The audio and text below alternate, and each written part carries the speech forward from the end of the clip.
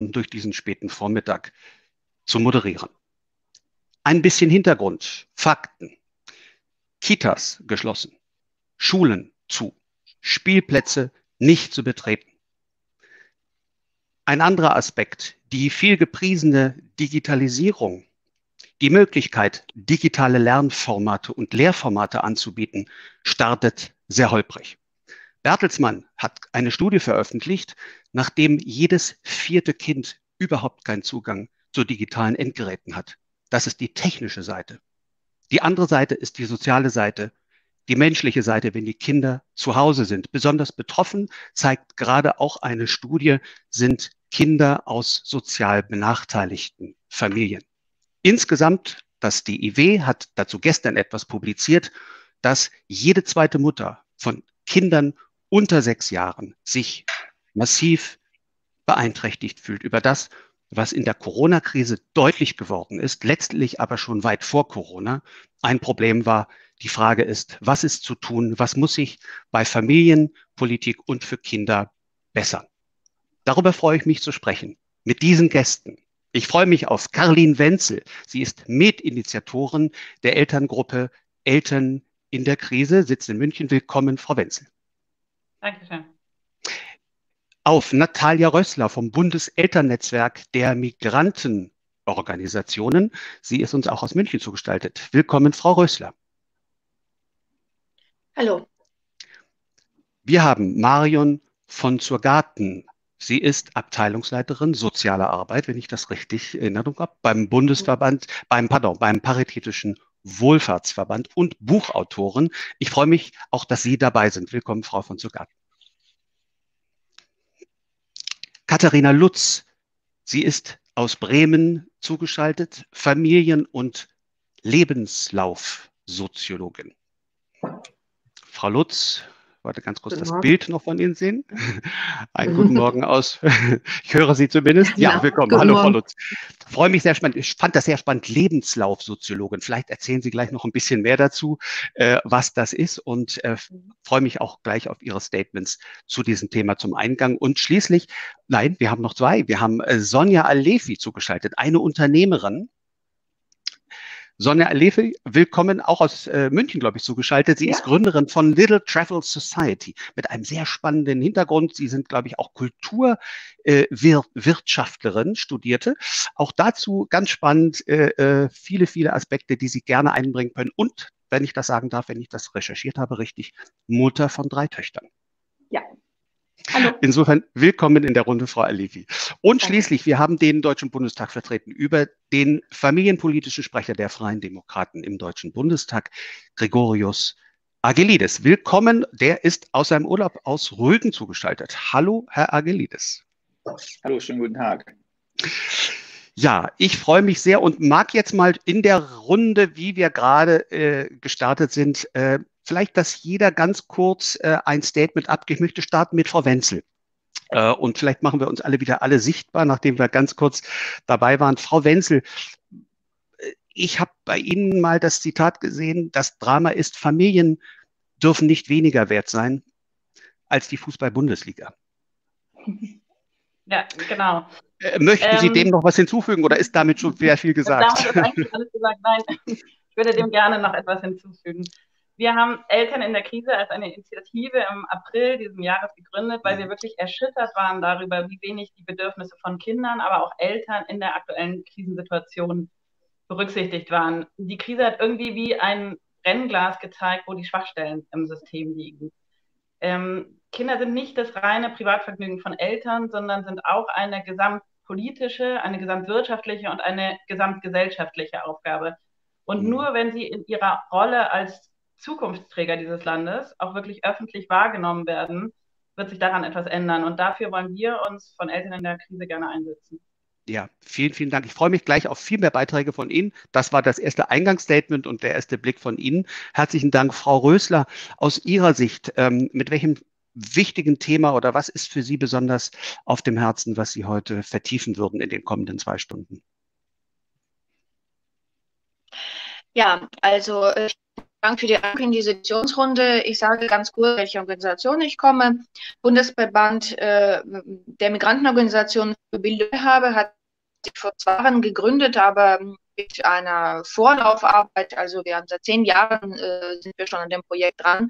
Und das ist ein Zusammenschluss der migrantischen Verbände unterschiedlicher Communities. Und wir setzen uns natürlich vor allem Bildung, also unser voller Name ist Bundesverband äh, der Migrantenorganisationen für Bildung und Teilhabe.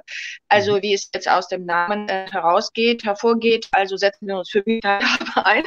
Und ähm, also natürlich diese Situation, in der wir jetzt alle geraten sind, ähm, hat jetzt tatsächlich wie ähm, so ein Test gezeigt, also unsere Schwachstellen. Und natürlich ähm, waren äh, haben wir viel Rückruf bekommen von Eltern mit Migrationshintergrund aus allen unterschiedlichen Communities.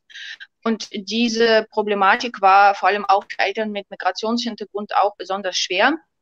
Also es gibt auch unterschiedliche Eltern mit Migrationshintergrund äh, mit etwas höherem und mit niedrigerem Bildungsstandard. Es gibt ja wirklich tatsächlich sehr unterschiedliche durch alle sozialen allen gleich ist, dass sie nicht in diesem Bildungssystem sozialisiert mhm. worden sind. Und sie kennen sich ähm, in dem Bildungssystem nicht so richtig gut aus. Und ähm, das Schulsystem, da sage ich als Mutter von zwei schulpflichtigen Kindern, ist sehr stark auf Elternbeteiligung ausgerichtet in Deutschland. Also von Eltern äh, hängt mhm. ziemlich viel ab, äh, also äh, in der Schule. Mhm. Und wenn das Elternteil noch das nicht so richtig äh, vielleicht versteht oder nicht so richtig ähm, durchdringt, und äh, dann war es natürlich in dieser Situation besonders hart, weil äh, diese ganzen Umstellungen und Regelungen äh, einfach nur noch schlicht einfach äh, schlecht zu vermitteln waren. Mhm. Okay. Und das ist uns unser Hauptpunkt. Ja, freue mich sehr auf gerade diesen interkulturellen Aspekt, den Sie hier einbringen, äh, weil der ist relevant und glaube ich auch in der Diskussion, soweit ich sie wahrnehmen kann, bisher medial sehr unterschätzt. Also vielen Dank, freue ich mich, dass Sie dabei sind. Ähm, Frau von Zugatten, Ihr Blick aus Sicht des Paritätischen Wohlfahrtsverbandes auf das Thema? Nur ein Eingangsstatement vielleicht. Ja, gerne. Ich glaube, eine Blaupause für einen Umgang mit Pandemien, wie sie sich jetzt mit Corona gezeigt haben, hat niemand in der Tasche. Ungeachtet dessen hat die Situation, die jetzt eingetreten ist, aber deutlich gemacht, wo wir sozialpolitischen Handlungsbedarf haben. Denn auch die Familien sind keine homogene Gruppe, sondern sie sind höchst heterogen. Und so zeigen sich auch unterschiedliche Bedarfslagen, die wir wir genau analysieren und wo wir genau gegensteuern müssen. Mhm. Ja, da werden wir auch sicher drauf kommen. Da gibt es sicher auch politisch schon viele Anträge, die eingebracht wurden, aber vieles ist noch offen. Insbesondere geht es mhm. ja nicht nur um die Frage, wie wir aus der Krise rauskommen, eine ganz andere ist die Prävention. Wie vermeiden wir dass wir jemals in dieses Loch wieder fallen für den Fall einer zweiten Welle. Was kann und muss Politik da leisten? Hören wir gleich Herrn Agilidis ja mit einem ersten Impuls zu. Aber vielen Dank. Äh, Frau von Sogaten. Dann aus äh, Sicht der Lebenslaufsoziologin, Frau Lutz. Ja, genau. Also ich bin ähm, Familien- und Lebenslaufsoziologin, vielleicht weil Sie es angesprochen haben in der Lebenslaufsoziologie. Hm. Gucken hm. wir zum Beispiel, wie sich bestimmte Ereignisse, sagen wir zum Beispiel die Geburt von Kindern, zum Beispiel auf den Lebenslauf von Eltern auswirken. Mhm. Äh, das, zu dem Bereich habe ich viel geforscht und gelehrt. Und jetzt in der Krise, die, die mich auch persönlich betroffen hat, aber ich versuche das als mich als Expertin in eben dieses Bereiches einzubringen. Ähm, mit einer Kollegin, Sonja Bastin, habe ich mich jetzt vor allem versucht, landespolitisch ein bisschen einzubringen und da irgendwie bei, bei Bremer ähm, Landespolitikern Gehör zu finden. Ähm, mit dem Motto, also es, es gibt Lösungen, ähm, aber das Problem ist, dass sich bisher halt, so sieht es zumindest von außen aus, nicht niemand richtig drum kümmert, beziehungsweise mhm. zumindest niemand drum kümmert, der die Macht hätte, was zu verändern. Also das wäre so unser großer Vorwurf an, an die Politiker, sowohl in Landes- als auch in der Bundespolitik. Ja, da können wir ja gleich mal hinhören. Wir haben ja einen Vertreter, zumindest bundespolitisch hier. Herzlichen Dank, Frau Lutz. Und Frau Alefi, aus Ihrer Sicht vielleicht ein Eingangsstatement? Ja, ich freue mich sehr, dass ich hier dabei sein kann, weil ich aus meiner Sicht im Epizentrum der Bildungskrise bin, weil ich persönlich dreifach betroffen bin. Also weil ich bin ja, wie Sie gesagt haben, Mutter von drei Töchtern und musste dann im Lockdown plötzlich äh, drei Kinder beschulen, ähm, weil also digitalen Unterricht habe ich in Bayern an der Grundschule nicht eine Stunde bisher erlebt. Also das war, mhm. wie man auf Bayerisch sagt, eine Zettelwirtschaft, mit der wir gearbeitet haben. Und ich finde, da zeigt sich eben ein Problem, das man angehen muss mit der Digitalisierung. Ja, also das ähm, hat einfach nicht funktioniert. Mhm. Und dann bin ich natürlich noch dazu Unternehmerin im Tourismusbereich. Ja, also zu, zur gleichen Zeit hat natürlich, ist mein Unternehmen in Schieflage geraten. Ähm, und musste da natürlich ähm, wirklich kämpfen. Und ähm, eine Besonderheit meines Unternehmens ist, dass ich mit fünf, ich habe fünf jungen Mütter als Angestellte und zwar bewusst. Also ich wollte zeigen, dass man mit Teilzeitmüttern ein Unternehmen sehr gut führen kann. Hat auch fantastisch funktioniert. Ich habe ein tolles Team. Aber mhm. es war natürlich in der Zeit, hatte ich dann plötzlich auch noch drei Angestellte, mhm die wirklich Kleinkinder hatten und da kann man nicht nebenbei die Arbeit machen. Also im Grunde ist es ähm, für mich gerade, weil es ist ja auch keine Aussicht auf Besserung. Es das heißt ja immer, wenn die Zahlen wieder hochgehen, dann gehen die Schulen wieder zu. Und in Bayern sind wir ja noch nicht im Regelbetrieb. Für mich mhm. als Unternehmerin ist im Moment nicht das größte Risiko die Tourismusbranche. Ähm, mhm. Das schaffen wir, wir überleben das. Das größte Risiko ist, dass ich und mein Team Kinder hat. Und das darf ja eigentlich nicht sein. Ja, also wenn Kinder zum Risiko werden, dann stimmt definitiv etwas ja. nicht in dieser Gesellschaft. Ich glaube, da können wir jetzt schon mal mit einem ersten Konsens alle zustimmen. Und äh, ich würde jetzt bitten, wir haben vielleicht ganz kurz zur Struktur für alle Zuhörenden hier im Raum und draußen über Facebook und YouTube. Wir haben drei Teile vorgesehen. Der erste Teil äh, nach der ganz kurzen Intro-Runde ist jetzt ein erster Impuls von Gregorius Agelides, dem familienpolitischen Sprecher der Freien Demokraten im Deutschen Bundestag. Anschließend haben wir dann Zeit für eine gute Stunde, vielleicht noch ein bisschen länger, für die Diskussion Diskussion untereinander zu Themen, wo Sie, äh, äh, meine Damen und Herren, die sich von außen zuschalten, mit Kommentaren oder Fragen an uns wenden möchten, gerne diese bitte stellen. Die werden wir dann zu dieser Diskussionsrunde punktuell auch mit einbringen können. Ich sage jetzt schon, wir werden vermutlich nicht jeden Beitrag leisten und liefern können, aber wir gucken immer mit einem Auge hin, welche Fragen oder welche Themen reinkommen. Und zum Schluss möchten wir den Blick nach vorne blicken, dass wir uns nicht im, ähm, in, in, der Beschwerde alleine hier auseinandergehen, sondern einen Blick nach vorne gehen, was ist zu tun und dann nochmal zum Schluss strukturiert sammeln, wie müsste es nach heute weitergehen, weil zwei Stunden sind lang, aber für dieses große Thema gleichzeitig viel zu kurz. Wir werden nicht fertig werden heute. Aber vielleicht kommen ein paar Ideen, wie es weitergehen sollte und mit welchen Botschaften wir auch die Politiker dann wieder in ihre Arbeit schicken, wenn der parlamentarische Betrieb im Herbst wieder weitergeht. So, insofern drei Teile vor uns und ich freue mich auf den Impuls von Gregorius Agelides, familienpolitischer Sprecher der FDP. Ja, herzlichen Dank. Äh, ich möchte diesen Impuls auch in drei Teile sozusagen äh, aufteilen oder einteilen. Der eine Punkt ist sozusagen, wie sehe ich die Situation aus äh, Sicht ähm, eines Abgeordneten, ähm, gerade wenn man sich anguckt, was die Themen sind, die Politik oder die Regierungen bisher nicht angegangen sind äh, oder unzureichend. Der zweite Teil, was kann man, sollte man kurzfristig machen? Und der dritte Teil, was ist eigentlich das, was man grundsätzlich längerfristig äh, eh machen muss und machen musste, schon jenseits dessen, ob wir eine Corona-Krise hatten oder nicht. Ähm, in der jetzigen Situation äh, ärgert es mich sehr, dass wir, und das haben ja ähm, äh, meine ganzen Vorrednerinnen beschrieben, äh, dass die Bedarfe und die Situation von Familien, von Kindern und von Eltern viel zu kurz kommen dass wir jenseits dessen, dass in den ersten Wochen sicherlich ähm, die Priorität auf Sicherheit äh, und auf Erkenntnisgewinnung sein musste, ähm, wir danach aber am Ende des Tages genau diese Bedarfe, oder nicht wir, aber Regierungen und hauptsächlich, ich äh, gehe jetzt mal die Bundesregierung an, die die Bedarfe der Eltern eben und der Kinder viel zu kurz gesehen hat. auch gerade das, was äh, Frau Alefi auch aus München beschrieben hat, wenn wir über Unternehmerinnen, über Arbeitnehmerinnen sprechen, also wie, wie sieht das da eigentlich aus? Und äh, da muss Politik ähm, und die Regierung vor allem äh, zuallererst ein, ein gutes Klima schaffen. Ähm, ein gutes Klima. Äh, ähm, Erhard hat schon mal gesagt, 50 Prozent der Wirtschaft sind Psychologie. Ich beziehe das allgemein auf das gesellschaftliche Leben und wie es funktioniert. Und da muss es so sein, dass die Regierung eben nicht äh, quasi den Eindruck erweckt, als ob nun äh, Kinder und Familien Gefahrenherde sind, sondern sie muss genau das Gegenteil verwenden.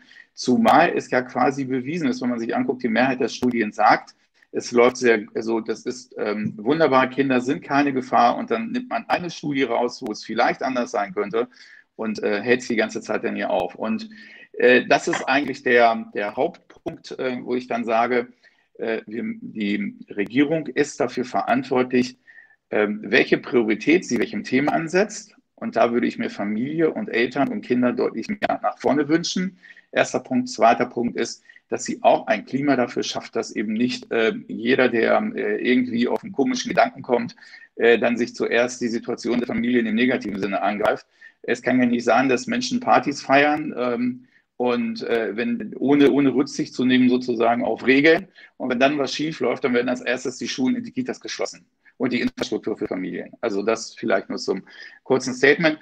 Was sollte zu tun sein aus unserer Sicht, ähm, wenn man das sich anguckt und anguckt, wie sehr ähm, eben gerade auch vor allem Mütter, ähm, aber Familien insgesamt unter Druck geraten in der Situation, dann müssen wir ähm, zwei, drei Dinge kurzfristig sehr schnell regeln. Erster Punkt ist, wir brauchen, wenn man sich anguckt, ähm, der Herbst kommt auf uns zu, wie sind die Regeln? Wir brauchen eine Entfristung bei den Krankentagen, wenn Kinder krank sind und zu Hause bleiben müssen und nicht zur Kita gehen können, äh, dann äh, muss diese Befristung, die wir haben von 10 bzw. 20 Tagen pro Jahr, solange diese Corona-Krise anhält, äh, wegfallen, ausgesetzt werden. Das ist eine Forderung, die wir gestellt haben, auf die die Bundesregierung leider nicht angegangen ist. Genauso wenig ist sie eingegangen auf unsere Forderung, dass wir, äh, wenn Eltern im Homeoffice arbeiten können, es nicht quasi als Ersatz gesehen wird für, ähm, äh, für die Lohnfortzahlung sozusagen.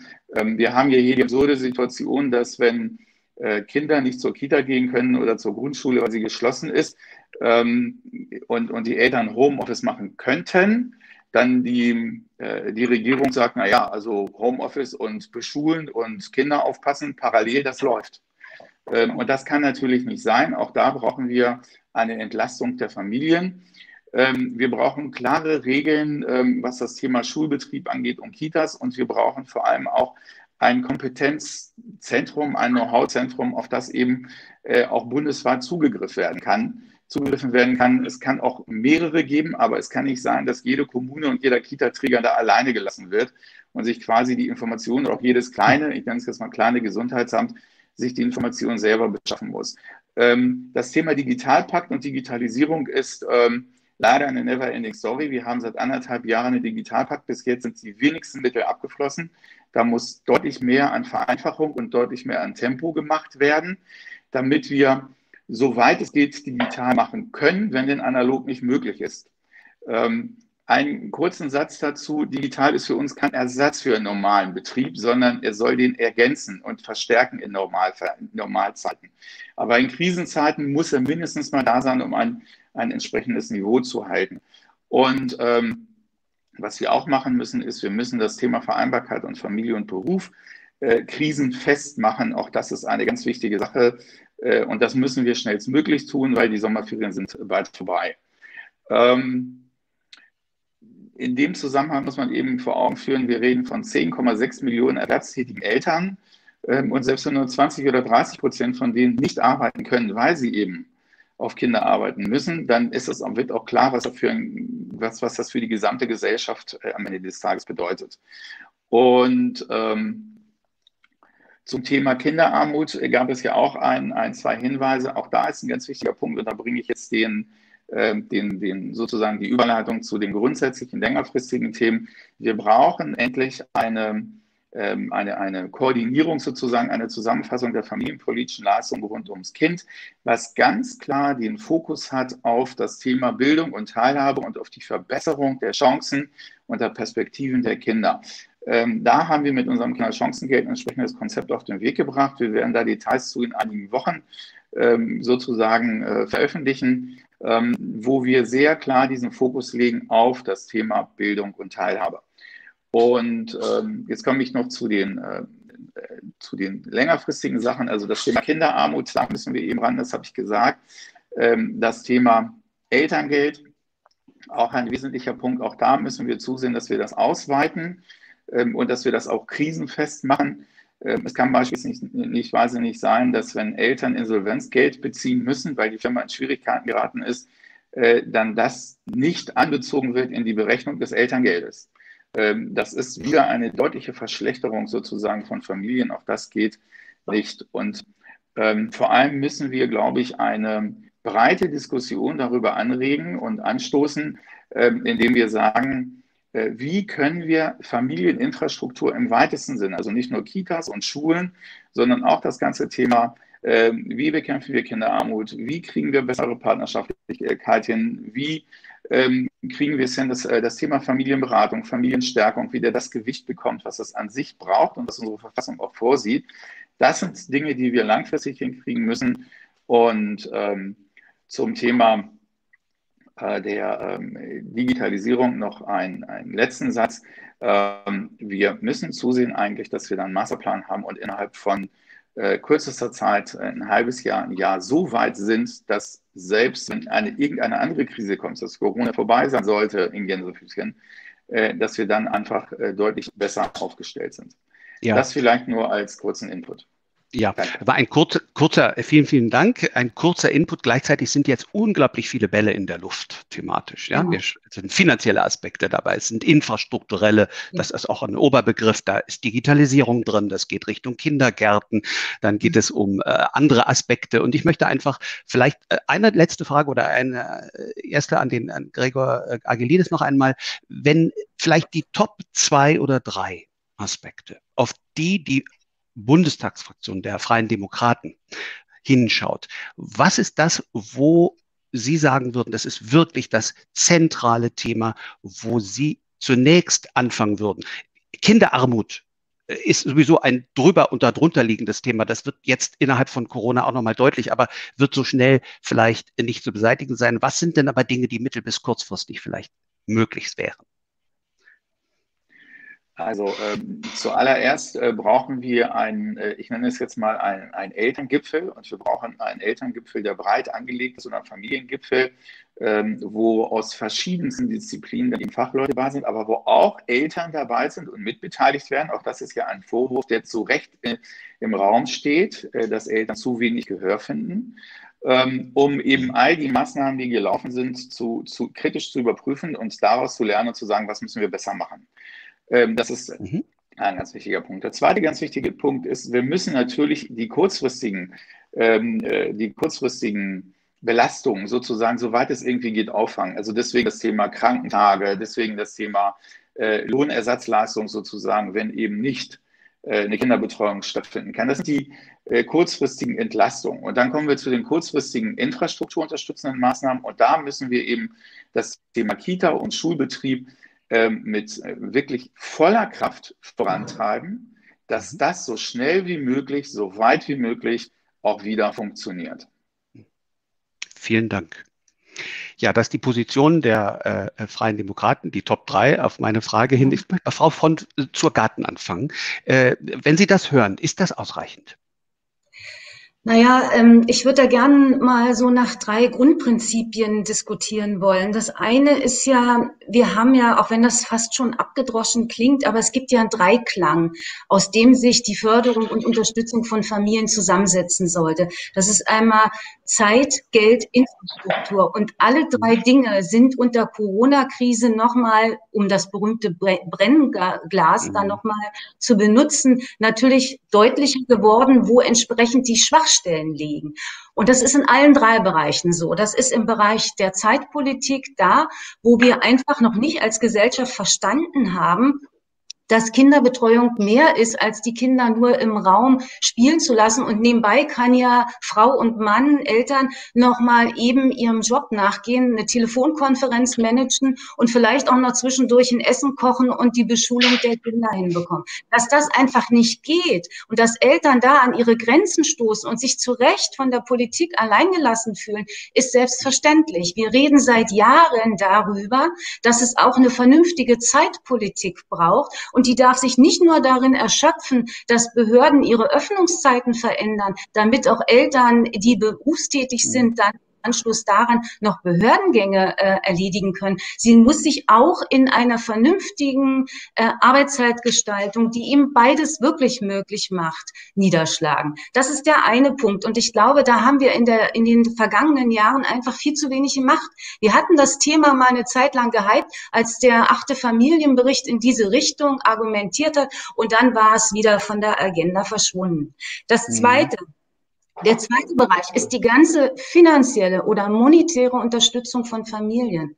Und mhm. da muss man sich das ganze Spektrum angucken. Ich sehe im Moment nichts und auch bei den Freien Demokraten keinerlei Initiative, die sich wirklich mit dem Thema Kinderarmut, gerade die prekäre Einkommenssituation von Familien im SGB II-Leistungsbezug wirklich hinreichend anschaut. Da sind sie auch an dieser Stelle hat, hat die Politik echt lang gezogen in der Vergangenheit. Da muss man noch mal hinschauen. Man muss aber auch hinschauen, wie man Eltern entlastet, die aufgrund von Corona ihre Betreuungssituation eben zu Hause haben und hier eben nicht beide Seiten leisten können. Wir dürfen auch nicht vergessen, es geht nicht nur allein um die Frage, ob Familien jetzt oder ob Eltern jetzt ähm, ähm, Homeoffice machen können. Es gibt genügend Berufe, da ist Homeoffice einfach faktisch nicht möglich. Sie können nicht von zu Hause an der Aldi-Kasse sitzen. Sie können nicht von zu Hause im Krankenhaus arbeiten. Selbst wenn das die berühmten systemrelevanten Berufe sind, es gibt darüber hinaus auch noch zahlreiche Berufe, wo das nicht möglich ist.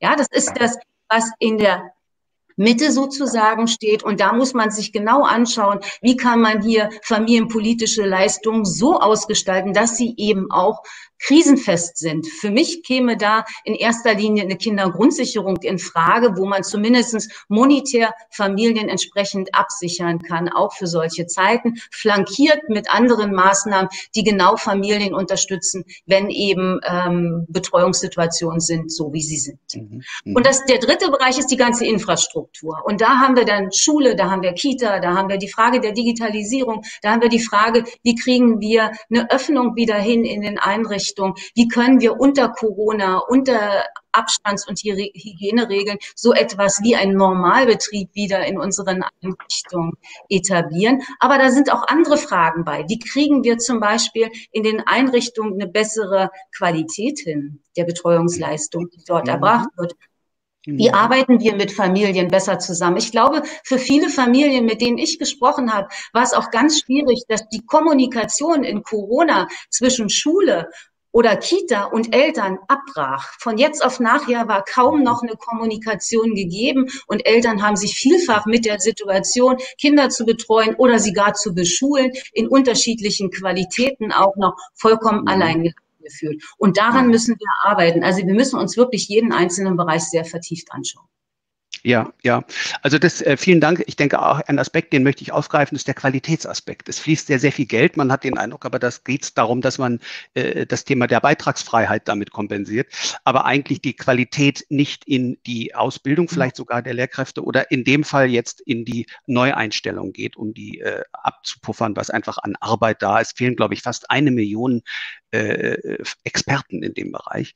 Mhm. Also das ist eine hohe Belastung. Ich will nur mal das Thema äh, da stehen lassen. Ähm, wenn es jetzt keine ganz akute Gegenstellungnahme von Herrn Agilidis gibt, dann würde ich einfach die Diskussion eröffnen und ähm, andere Beiträge gerne von Ihnen einsammeln, ähm, bevor ich dann vielleicht die ersten aus dem Netz auch, äh, die ersten kommen rein, vorlese, äh, vielleicht aus Sicht der Teilnehmenden.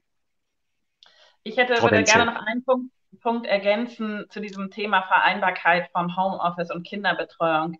Ich fände es in der Kommunikation unglaublich wichtig, ähm, dass es einfach mal ganz klar gesagt wird, dass das nicht machbar ist. Es ist genauso, wie wir das jetzt schon mehrmals gehört haben, das geht nicht. Und momentan führt es dazu, dass alle Eltern denken, sie kriegen es irgendwie nicht hin, sie sind unfähig oder mhm. versuchen sich die ganze Zeit zu entschuldigen oder nachts zu arbeiten. Mhm. Ähm, die Kinder kriegen das mit. Also ich glaube, es würde kommunikativ schon sehr, sehr helfen, wenn man einfach mal ganz klar sagt, es geht nicht.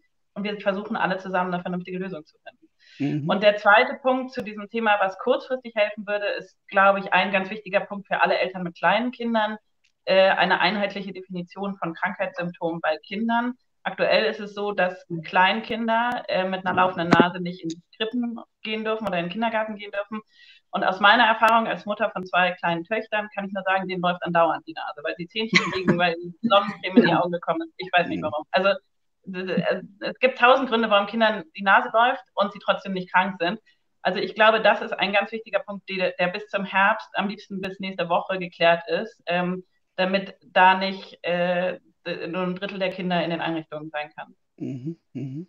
Ja, es ist eine große Sorge und eine Angst, da etwas falsch zu machen. Und da überwiegt derzeit eine, eine, ein, ein zögerliches. Mhm. Nicht? Man, man ist auch nachvollziehbar, aber es ist äh, im Moment mhm. scheint Corona, ich sage nicht eine Ausrede zu sein, weil ich glaube, die meisten sind bemüht, äh, alles zu geben und wieder in diese sogenannte, wie auch immer genannte Normalität zurückzukommen und dass es wieder läuft. Aber ähm, man sieht schon, dass Corona äh, dominiert immer noch so sehr, dass die kleinsten Symptome wie eine Nase laufen mittlerweile also schon mhm. zu äh, Überreaktionen führen. Aber vielleicht ist das etwas, was über die Zeit dann auch äh, kommen wird. Die ähm, erste Frage, die hier aus dem, äh, pardon, Gregor. Agilität. Ich würde gerne einen Halbsatz zumindest äh, zu ja. den beiden äh, Damen sagen. Also zum einen, Frau Wenzel, Sie haben absolut recht, deswegen ist es ja so wichtig, zu sagen, in dem Augenblick, wo das Kind nicht betreut werden kann, gibt es eine Lohnersatzleistung. Und zwar völlig losgelöst davon, ob Homeoffice möglich ist oder nicht. Dass da die Familienministerin und da die Bundesregierung diesen Weg nicht gehen, das ist genau dieses fehlende Signal, von dem wir sprechen und was wir fordern. Und ähm, Ihnen, Frau von äh, zur Garten, wollte ich nur sagen, Sie haben absolut recht mit Ihren Punkten. Ähm, ich möchte Sie nur darauf hinweisen, dass wir die Situation, von der Sie gesprochen haben, mit den Kindern im SGB-Bereich, äh, dass wir genau die im Blick haben und äh, wenn Sie noch anderthalb, zwei Wochen warten, dann werden Sie es feststellen. Aber gehen Sie davon aus, das haben wir sehr genau mit, gerade mit dem Thema Bildung und Teilhabe im Blick. Das ist nur so kurz. Dann da bin ich, darf ich, darf ich noch mal einhaken an der Stelle?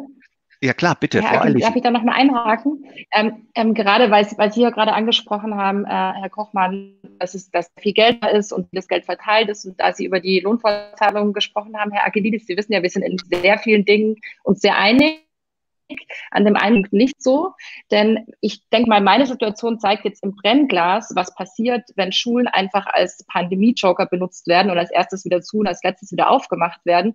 Denn ich habe dann ein Team, ein gesamtes Team, das nicht arbeiten kann. Also da bringen die Lohnfortzahlungen dann nichts, weil dann geht mein Unternehmen pleite und dann haben die ähm, Damen auch keinen Arbeitsplatz mehr. Mhm. Deswegen, also mir wäre es eigentlich richtig, dass, wichtig, dass wir darüber sprechen, was für eine Rolle Bildungseinrichtungen haben. Denn man sieht in anderen Ländern wie Frankreich, Dänemark, Frankreich war viel schlimmer betroffen, hat einen viel härteren Lockdown haben viel früher wieder aufgemacht. Also ich denke mal, es, es geht mir auch um was anderes, dass man wirklich drüber sprechen muss. Schulen und Kitas sind systemrelevant, denn meist sind wir Eltern schlechte Aushilfslehrer, aber gute Arbeitskräfte. Und auch wenn wir Geld bekommen, ähm, wir kriegen ja eigentlich im, im Grunde so eine Art Corona-Herdprämie, um zu Hause zu bleiben und es sind die Mütter meistens, sich um die. Kinder zu kümmern. Und ähm, da, mhm. das kann keine Dauerlösung sein. Das ist jetzt ein halbes Jahr vergangen in Bayern und Herr Söder hat am Wochenende wieder gesagt, er ist sich jetzt nicht so sicher, weil alle am Ballermann feiern, ob denn das jetzt was wird mit der Öffnung äh, der Schulen. Und ich, da ich habe einen Artikel geschrieben darüber, den 50.000 Leute gelesen haben, kriegt sehr viele Zuschriften und die Mütter sind verzweifelt einfach und die sagen, oh mein Gott, was mache ich denn? Es gibt keine Aussicht auf Besserung. Und auf der Ebene, finde ich, müsste man auch sehr dringend, sehr schnell mhm. eine Lösung finden, nochmal zu sprechen. Was für eine Rolle hat denn, haben denn Schulen und Kitas eigentlich in der Gesellschaft? Frau von Zuckersten. Ich würde da gerne noch einen Aspekt hinzufügen, den wir bisher in der Diskussion noch nicht drin hatten. Auch die Kinder haben ein Recht darauf, Bildung und Teilhabe zu, zu erfahren. Also wir reden jetzt viel über Vereinbarkeitsfragen, aber wir reden weniger und äh, bisher gar nicht über die Frage von Kinderrechten die natürlich auch bedeuten, dass Kinder Teilhabe erfahren können, dass sie mit Gleichaltrigen zusammentreffen können, dass sie auch ein Recht auf Beschulung haben letztendlich. Und auch darüber müssen wir uns Gedanken machen, dass zum Beispiel auch Corona nicht dazu genutzt wird, um zum Beispiel Rechte von Mitbestimmung, von Partizipation bei Kindern wieder zurückzunehmen, weil man ja in Corona gerade dafür Sorge tragen kann, dass jetzt äh, Teilgruppen immer eingeschränkt oder eben äh, zu, in Teilbereichen nur beschult geschult werden. Auch da müssen wir ganz genau hinschauen. Das trifft auch auf die kleineren zu, die oftmals, wenn sie monatelang zu Hause waren, Schwierigkeiten haben, wieder in die Kita zurückzukommen und hier auch gar nicht mehr die Eingewöhnung erfahren können, die sie in der ersten, in der, ähm, im ersten Besuch der Kitas bekommen haben, weil das ja in Corona mit Abstandsregelungen, mit äh, Hygienemaßnahmen gar nicht möglich ist, dass die Eltern jetzt alle über bestimmte Zeiträume ähm, in den Kitas mit anwesend sind. Also mhm. da sind ganz viele Gemeinde Gemengelage gelagen, auf die wir blicken müssen. Und die Kinder sollten wir stärker, die Kinder und Jugendlichen, auch die Jugendlichen stärker in den Blick nehmen. Ja, vielleicht, äh, danke Frau von Zugarten. Ich möchte äh, Frau Rös Rösler. Ja, natürlich. Bitte, wollte ich gerade zu Wort bringen. ich wollte, ich wollte äh, mit, äh, mit, unserem besonderen Aspekt äh, auch noch was sagen. Also natürlich stimmen wir alles zu, was, äh, was, was für uns, für unserem Vorredner gesagt haben. Geld ist wichtig, äh, Entschädigungen sind wichtig, alles ist wichtig, aber also wir haben ähm, gesamt gesehen, ja, in Deutschland äh, schon einen sehr großen Anteil von Kindern mit Migrationshintergrund in den Schulen, in den. Also bei uns in Berlin sind es in den Schulen im Zentrum in Mitte äh, manchmal 90 Prozent. Und ich sage es ja eins, also mir graust es jetzt, jetzt wirklich, also wenn unser Senat jetzt sagt, nach den Ferien machen wir es nicht wieder auf, weil Entschädigungen, Armut, Bekämpfung, alles gut. Aber äh, auch äh, Eltern, das ist auch wichtig. Aber diesen Kindern ersetzt niemand äh, einen lebendigen Unterricht mit einem Lehrer. Also meine, meine Tochter hat sozusagen äh, in der ersten Klasse ihre Alphabetisierung abgebrochen in der, in der Hälfte. Also alphabetisiert. Aber mit Migrationshintergrund würden dieses Prozess abschließen. Und Schule mhm. und Kindergarten sind die wichtigsten, die wichtigsten Integrationsvehikel, mhm. also Moment bei uns also äh, die, die Benachteiligung Kinder mit Migrationshintergrund daraus auswählen, dass ihre Eltern, wenn sie es nicht sind, aber zu Hause sie beschulen. Diese Benachteiligung ähm, du denn vielleicht Eltern oder Eltern aus höheren Bildungen, auch mit Migrationshintergrund, so die wird dann diese Benachteiligungsschere sozusagen, also Bildungsschere zwischen einem Kind und anderen Kindern größer machen. Also Deswegen wäre, und wir in, äh, genauso wie Sie in Bayern, haben wir in Berlin in unserer Schule keine einzige Stunde der Fernunterricht erlebt. Also das waren mhm. immer Zettel, auf denen Aufgaben geschrieben worden sind. Ich habe auf meinem Computer, ich glaube, schon zehn verschiedene Programme, äh, die dann halt online, wo meine Kinder irgendwelche Online-Übungen machen konnten. Aber das ersetzt natürlich nicht ähm, das Konzept des Online-Unterrichts.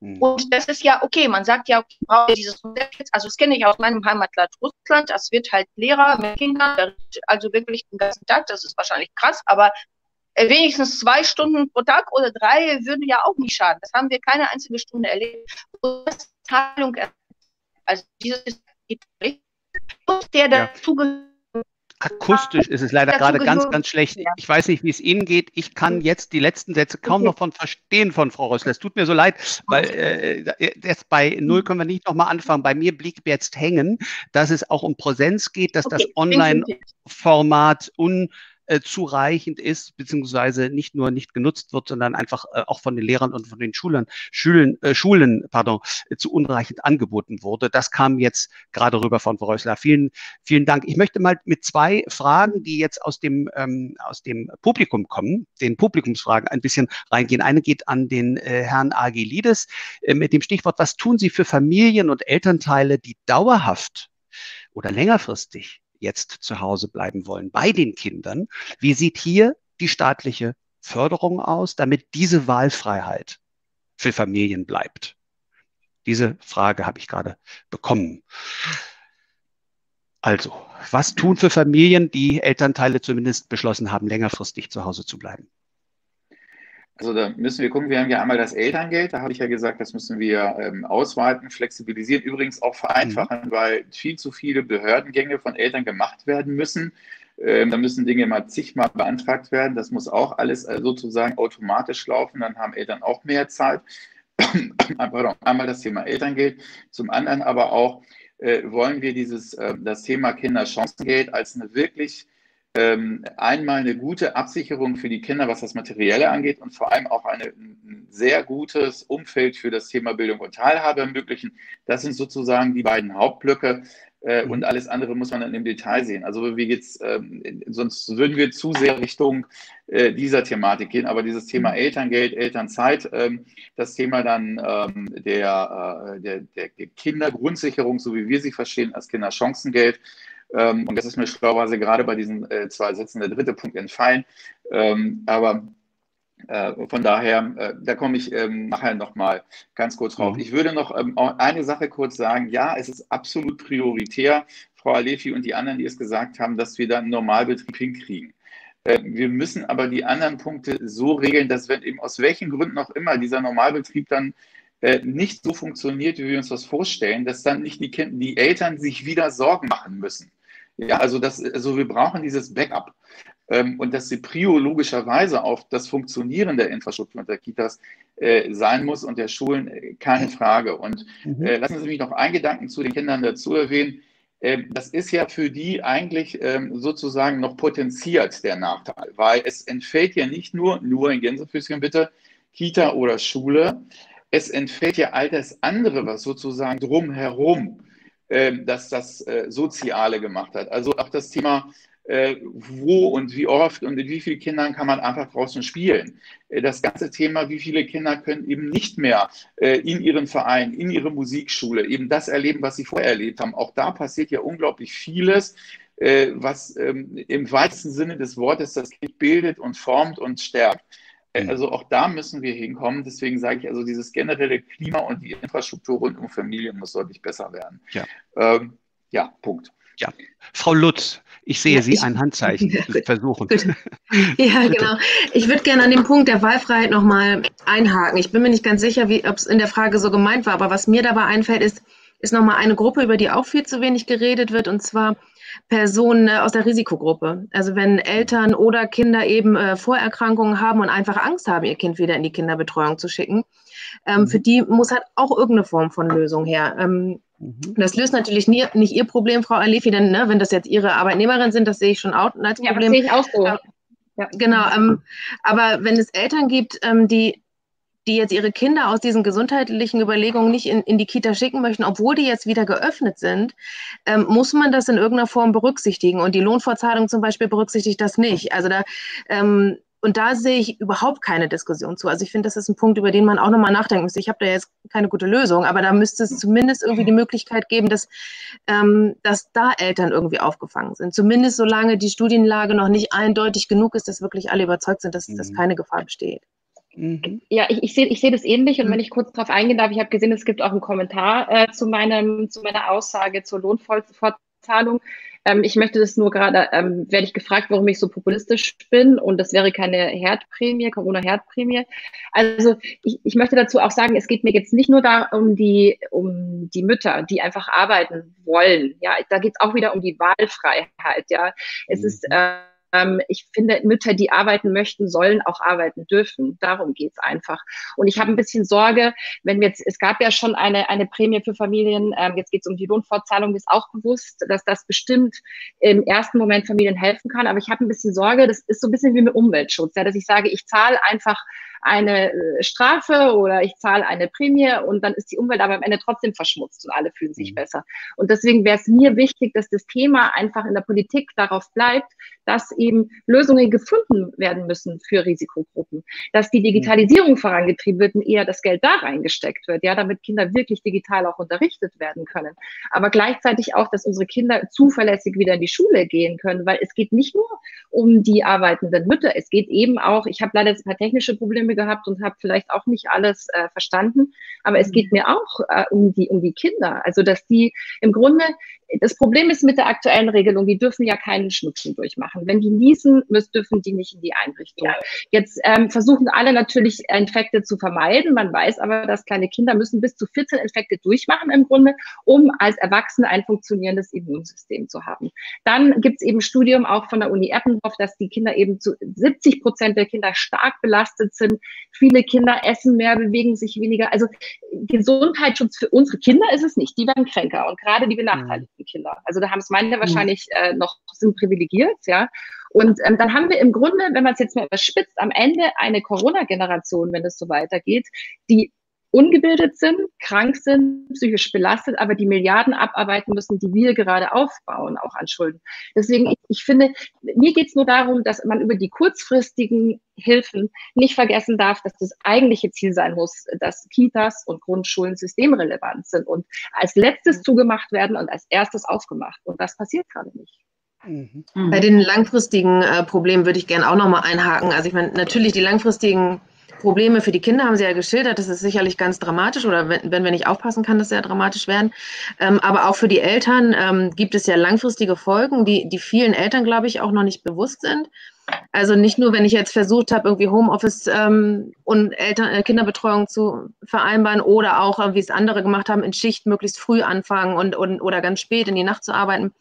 Äh, das kann man ja auch eine Weile machen. Das wird mhm. langfristig sicherlich auch gesundheitliche Folgen mit sich bringen, wenn das jetzt im Herbst so weitergeht. Jetzt schon. Aber das, ja, aber das wird halt auch ähm, Folgen haben fürs Einkommen. Ne? Also viele Eltern mhm. haben eben auch Angst, wenn es jetzt wirtschaftlich nicht so gut läuft, bin ich denn die erste Person, die, die gehen muss.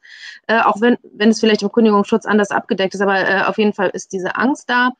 Ähm, was passiert mit Beförderung? Welch, ähm, wer in der Firma wird befördert? Ist das die Mutter, die jetzt irgendwie ständig äh, kindkrank nimmt oder ist es der, ähm, der alleinstehende Mann, der, der nee, jetzt keiner stellt mir die Mütter ein.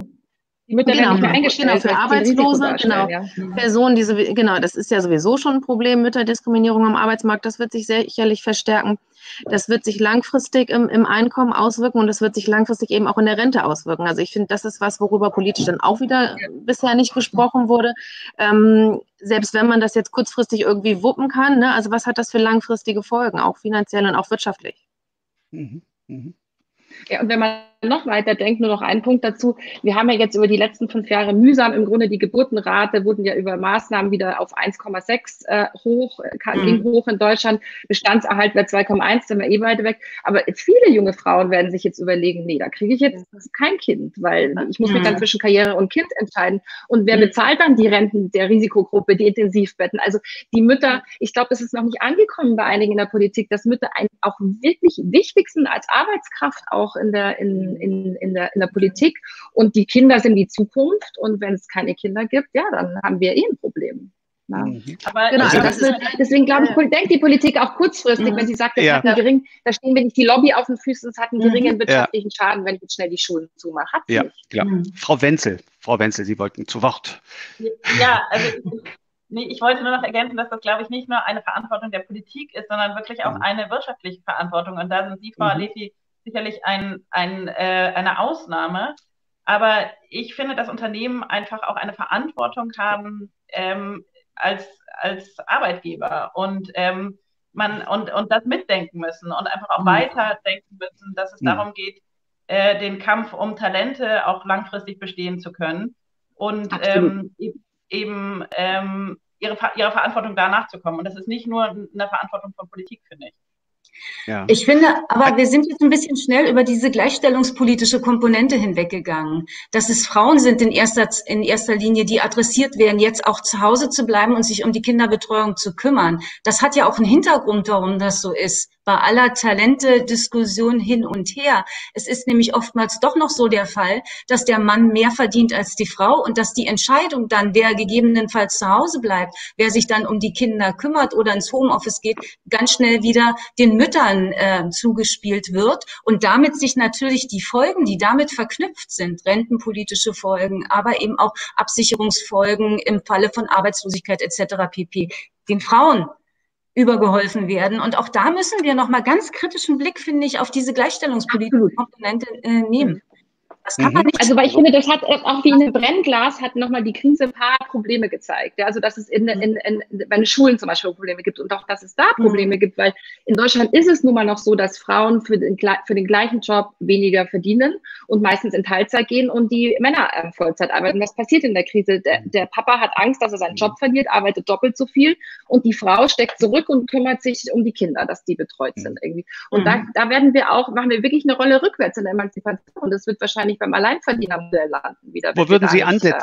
Wo würden, Frau Alefi, wo würden Sie ansetzen? Ganz konkret. Das, äh, das ist ein, ein Thema, das ist weit vor Corona schon da gewesen. Meine Befürchtung, ja. es bleibt. Wo würden Sie ansetzen? Ja, Ehegattensplitting ist natürlich ein Problem. Also rein steuerlich ist es ja gewollt mhm. von der Politik, dass Frauen zu Hause bleiben. Und es wird, es war auch vor Corona schwierig mit der Betreuung. Also mein, mein Anstreng, ich, ich weiß nicht, alle, die Kinder haben, kennen das wahrscheinlich. Also drei Kinder in Betreuung zu bekommen, in eine ordentliche Betreuung, die auch eine gute Qualität mhm. hat, wo nicht eine Erzieherin sitzt und gleichzeitig Kartoffeln schält, äh, weil alle wieder fehlen, ist äh, ein Ding der Unmöglichkeit. Das ist wie ein zweiter Vollzeitjob eigentlich im Grunde. Mhm. Also, mhm. und es muss sich natürlich, ähm, und ich denke mal, mal, wenn die Politik das wirklich möchte, dass Frauen, also man sieht es ja in Frankreich, ja, da arbeiten die, die Frauen, die arbeiten, da arbeitet, glaube ich, die Hälfte der Frauen in Vollzeit. In Deutschland ist, glaube ich, nur ein Drittel. Also es ist einfach nicht wirklich gewollt, glaube ich. Die mhm. Politik hängt im Grunde den jungen, modernen Frauen dahinterher. Und wenn man die Möglichkeiten schafft und auch die Arbeitgeber, das sehe ich ganz genauso, Frau Wenzel. Also ich habe wirklich ein Dream-Team, weil wir sind ein virtuelles Team und wenn die in der Nacht arbeiten wollen oder am Wochenende, weil das mit dem Kind nicht anders mhm. ging, ist überhaupt kein Problem für mich. Das Ergebnis zählt. Und da sind viele Arbeitgeber auch unkreativ, muss ich wirklich ja. sagen. Also ich glaube, Politik und Wirtschaft muss da einfach noch Grundlagen schaffen, damit wir Frauen da weiterkommen auch. So, da sitzt die Politik, die möchte sich zu Wort melden. Herr Agelides. genau, ja, herzlichen Dank.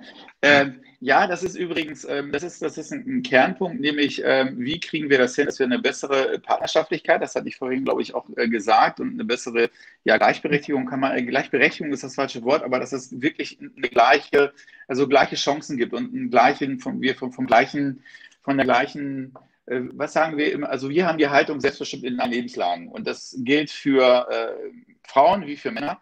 Und deswegen ist es ja so unglaublich wichtig, äh, an dieser Haltungsthematik anzugehen und nicht nur mit, mit Geld zu winken. Ich sage das mal so.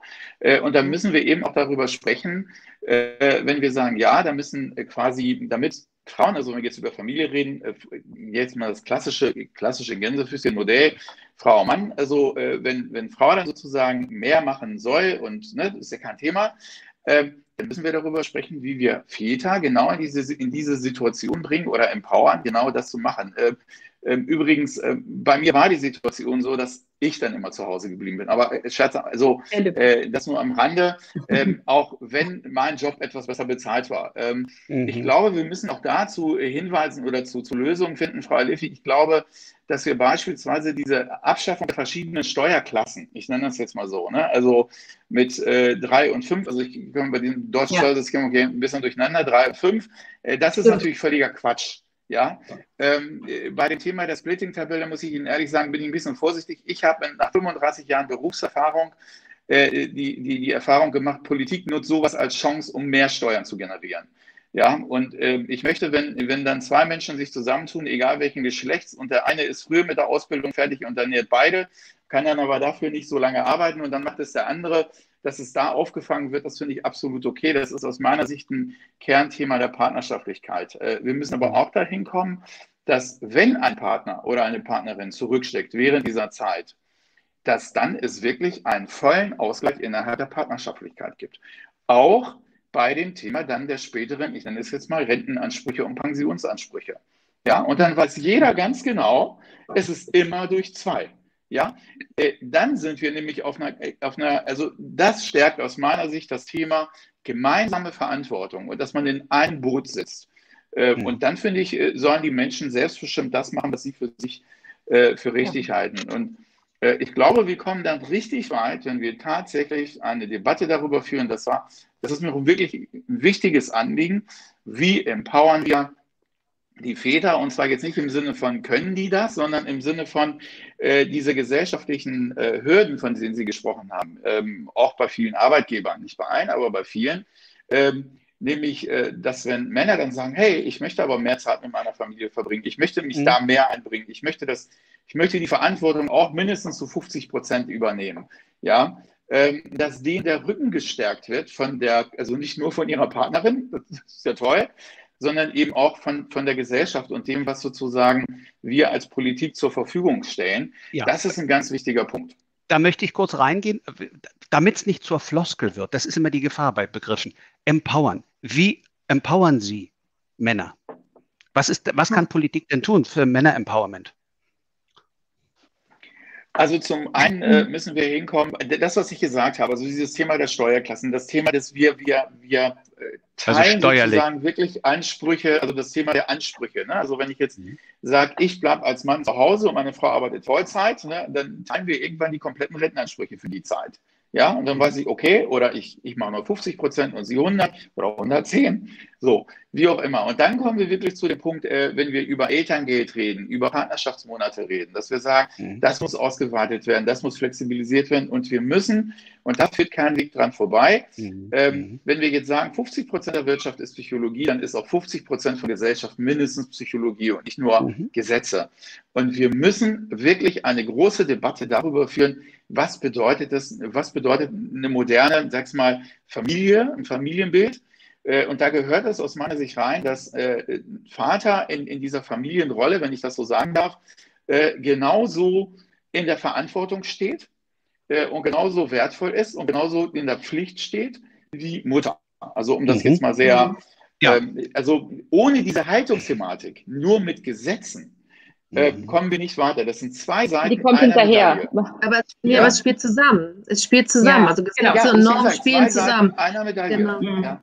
Also ich, ja, ich würde da ja. Vielleicht ganz kurz Frau Lutz und dann Frau von Zurgarten. Ich würde jetzt ja. kurz die Reihenfolge. Genau, ja. ich würde da nur gerne noch so ein paar Forschungsergebnisse. Also ich würde, also auf jeden Fall muss ähm, die Beteiligung von Vätern an der Familienarbeit normalisiert werden. Ne? Das würde zum Beispiel auch Diskriminierung von Müttern eventuell ein bisschen verringern. Ähm, und das wäre sich, und der erste Schritt dabei ist ja sowas wie zum Beispiel das Elterngeld, die Elternzeit, das ist häufiger von, von Vätern auch genutzt wird, mhm. möglichst auch alleine genutzt wird, nicht gleichzeitig mit der Mutter und dann, sondern das, ähm, und da gibt es tatsächlich Forschung inzwischen zu, dass wenn Väter die Elternzeit äh, stärker also nutzen, äh, dass die sich dann auch im, im weiteren Lebenslauf des, des, Kindes halt stärker engagieren. Also das ist sicherlich so ein erster Schritt da. Und da kann man dann eben auch gesetzlich mhm. wieder einhaken, wie es ja jetzt schon gibt mit diesen, ja. diesen Zusatzmonaten. Äh, wenn man da halt Anreize setzt, dass Väter sich häufiger beteiligen, wird man, wird man da auch langfristig was an den Normen verändern können. Mhm. Normalität schaffen. Die Haltung ist sicherlich eine ganz wichtige Frage. Ich glaube, dass Politik hier aber Anreize setzen muss für ein bestimmtes Verhalten. Das ist ihre Aufgabe letztendlich. Mhm. Darin drückt sich dann auch eine Haltung aus. Was man aber nicht vergessen darf, ist, dass man zum Beispiel auch für Alleinerziehende dringend Unterstützungsleistungen braucht. Ja die sie aus der Armutsfalle herausholen. Ein großer mhm. Prozentsatz von Alleinerziehenden sind im SGB-II-Leistungsbezug ja. und sie sind doppelt belastet mit der Frage, wie dann äh, die Vereinbarkeit von Familie und Beruf ja. zu leisten ja. ist, gerade in Corona-Zeiten. Und hier nutzt es mir auch wenig, an eine Haltung zu appellieren, weil ich glaube, die meisten alleinerziehenden äh, Mütter und auch Väter kämpfen sehr um die mhm. Bewältigung ihres Alltags. Und da muss ich nicht an, der, an die Haltung herangehen, sondern ich muss knallfest schauen, wo ich sie entsprechend finanziell, also monetär unterstützen kann und wie ja, ich ihnen ja. andere nicht monetäre Unterstützung noch zusätzlich geben kann. Richtig. Dankeschön. Das war auch eine Frage hier, die kam voll erwerbstätige Alleinerziehende werden bestimmt mhm. wieder vergessen, war die Befürchtung, wie sehen mögliche Perspektiven aus. Ähm, dann noch eine andere Idee zu dem Thema von einem von Ihnen, die hier in dem Podium sitzen? Wie kann also diese Perspektive gegeben Beispiel, werden? Wir hatten ja eben über die Steuerklassen gesprochen, mhm. ne? also wo, wo mhm. Eheleute dann bevorzugt werden, da haben natürlich Alleinerziehende auch wieder gar nichts von. Also das wäre so ein erster Punkt, wo auf jeden Fall irgendwas genau. passieren muss, wo ich aber auch überhaupt nicht sehe, dass da irgendwas diskutiert wird.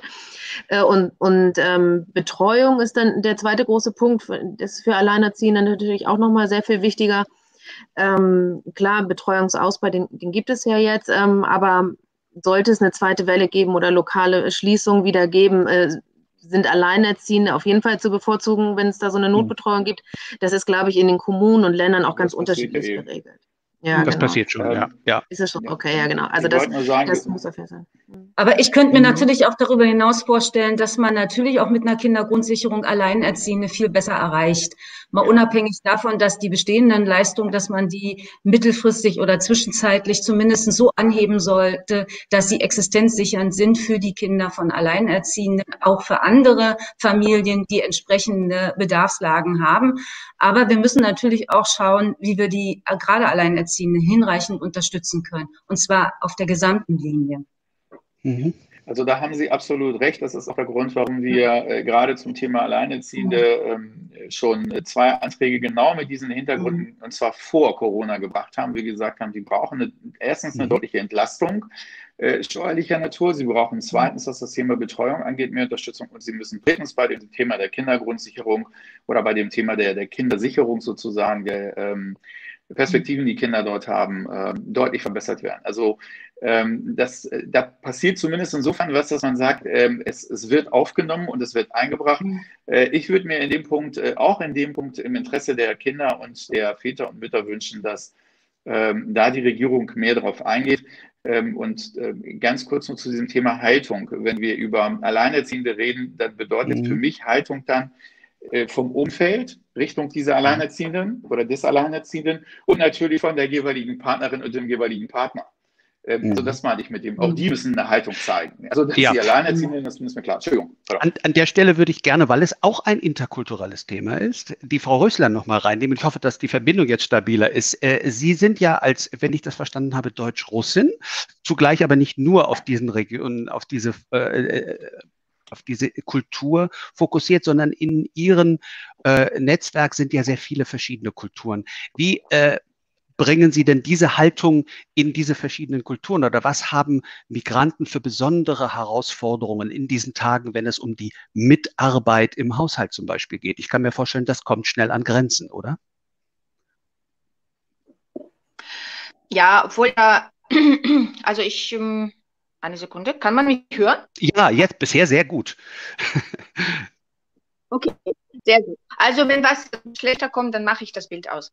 Ähm, ja, das kann man ja auch nicht so pauschalisieren, weil Migranten sind nicht gleich Migranten. Migranten unterscheiden mhm. sich auch äh, nach, äh, nach Bildungsniveau, nach Herkunftsland ja. und so weiter.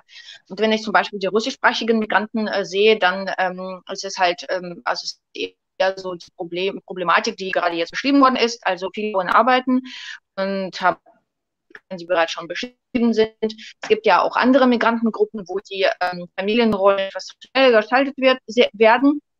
Und ähm, das halt, äh, das gibt es andere Problematiken. Aber ich, ich, würde sagen, ich würde jetzt wirklich pauschal sagen, das, was uns jetzt äh, aus unseren Mitgliedsorganisationen zugetragen worden ist und was, was die Menschen am meisten bewegt, ähm, mhm. ist eher nicht die Frage der Geschlechter, sagen wir so, sondern die Frage, was wir dann konkret mit unseren Kindern äh, machen, wie wir tatsächlich Bildung leiden, äh, jetzt ähm, droht entstehen.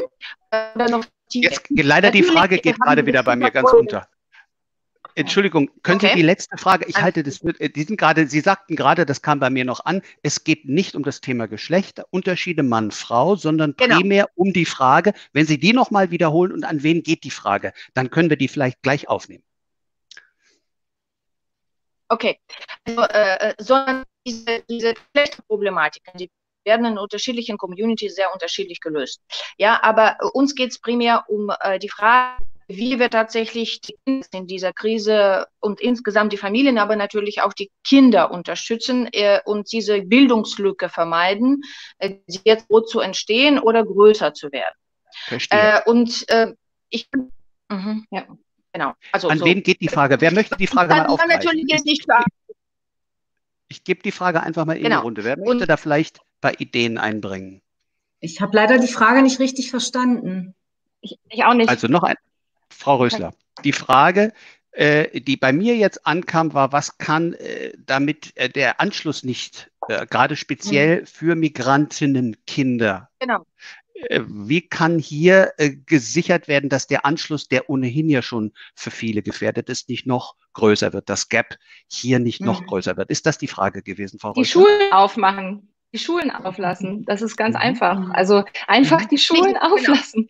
Ich meine, weil das ist ja tatsächlich, es kam jetzt auch gerade in den Kommentaren, das ist ja das eigentliche Thema. Also ja. ähm, wie gesagt, ich, ich kriege auch viele Zuschriften ähm, von Müttern und die haben ja auch vor, der vor dieser Sendung, habe ich auch viele Zuschriften bekommen und da haben ganz viele gesagt, es, ich brauche eine zuverlässige Betreuung für mein Kind und ich möchte, dass mein Kind in die Schule geht. Also das ist eigentlich das wichtige Thema und deswegen habe ich immer so Sorge, wenn wir über diese ganzen Nebenschulungen Nebenschauplätze sprechen, mhm. mit, mhm. äh, wo Geld da und da reingesteckt wird. Man muss einfach jetzt Geld ins Bildungssystem investieren. Zum Beispiel ist auch ein Problem in den Schulen. Ganz ehrlich, die Gebäude sind einfach auch äh, nicht geeignet, mhm. um ähm, auch in der Influenza war das ein Problem. Ich sage meinen Kindern, sie sollen sich die Hände waschen und in unserer Grundschule gibt es teilweise kein warmes Wasser, keine Seife. Die Eltern mhm. putzen jeden Freitag im Klassenzimmer, weil das Geld nur reicht, um den Boden zu fegen. Da werden keine mhm. Tische abgeputzt und das haben wir vor Corona schon gemacht, weil wir gesagt haben, das ist nicht hygienisch und das entspricht mhm. auch nicht das, was ich meinen Kindern zu Hause mhm. beibringe, abgesehen mhm. davon. Also da mhm. muss in, nicht nur in Digitalisierung, sondern auch in die Schulen investiert werden und es müssen natürlich jetzt schnell Lösungen gefunden werden. Also ich bin, da werde ich jetzt wahrscheinlich viele verärgerte Kommentare bekommen, aber ich bin nicht einverstanden damit, dass die Lehrer sich so, also ich muss sagen, ich habe nur gute Erfahrungen mit den Lehrern meiner Kinder gemacht, das möchte ich vorne anstellen. Mhm. Aber dass zum Beispiel bis zu 30 Prozent der Lehrer sich als Risikogruppe definieren, das habe ich von keiner Supermarktangestellten gehört. Das dürfen Polizisten mhm. nicht, die sind auch verbeamtet. Ähm, das ist wirklich ein Problem. Und da verstehe ich auch nicht, warum Herr Meindinger, der Vorstand des Lehrerverbandes, so Dinge sagt wie ein Regelunterricht kann bis zu einem Impfstoff nicht mehr stattfinden, den es vielleicht nie geben mhm. wird. Also das stürzt Eltern und Kinder in Verzweiflung einfach. Und, mhm. ähm, und, und deswegen finde ich, muss über dieses Thema gesprochen werden, mhm. dass in dieser Pandemie einfach, es wurde ein Influenza-Pandemieplan ausgerollt, wo es noch keine Kitas gab, ja, da konnte man darüber, da gab es keinen Plan dafür und wo die Kinder bei Influenza spielen sie eine größere Rolle und es ist einfach mhm. inzwischen klar, ähm, dass die, dass die Schulen im Grunde, also mein, mein Empfinden ist, dass die Politik, wenn es schwierig wird, muss sie ja irgendwas machen und dann ist der geringste Widerstand da, weil da keine Lobby auf den Füßen steht der Politik. Wir machen einfach die Schulen zu. Und ich, mhm. das mhm. ist, deswegen, das ist die Lösung. Schulen müssen offen bleiben. Also das geht mhm. nicht, dass die sofort immer wieder zugemacht werden. Ja, Frau von Zugarten.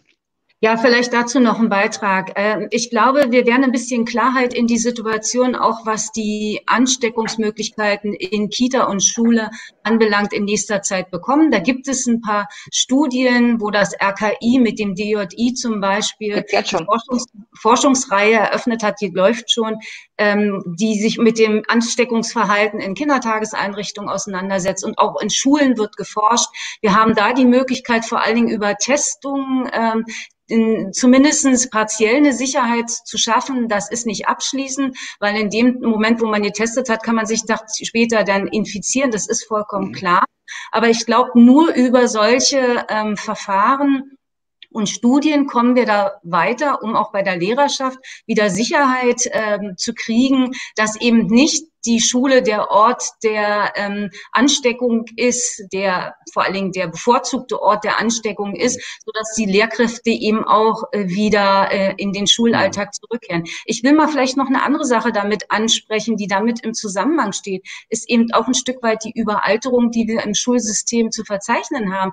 Wir haben da sehr viele Lehrkräfte, die 60, Ü60 sind, die in den nächsten Jahren auch aus dem Schuldienst ausscheiden werden. Und wir haben wenig äh, junge Kräfte, die in die Schulen ähm, nachgekommen sind. Das ist auch ein Stück weit Politik gewesen, eine Zeit lang, die, die Studierenden davon fernzuhalten, das Lehramt zu äh, anzustreben. Das Gleiche gilt übrigens für den Kita-Bereich. Auch da haben wir äh, vielfach eine Überalterung des Personals und wir haben jahrelang darauf gesetzt, möglichst viele Kinder in die Einrichtung zu kriegen und die Gruppen immer größer zu machen oder zumindest sie nicht hinreichend zu verkleinern, was eigentlich eigentlich aus pädagogischen Gründen gegeben gewesen wäre. Geht übrigens auch für Schulen.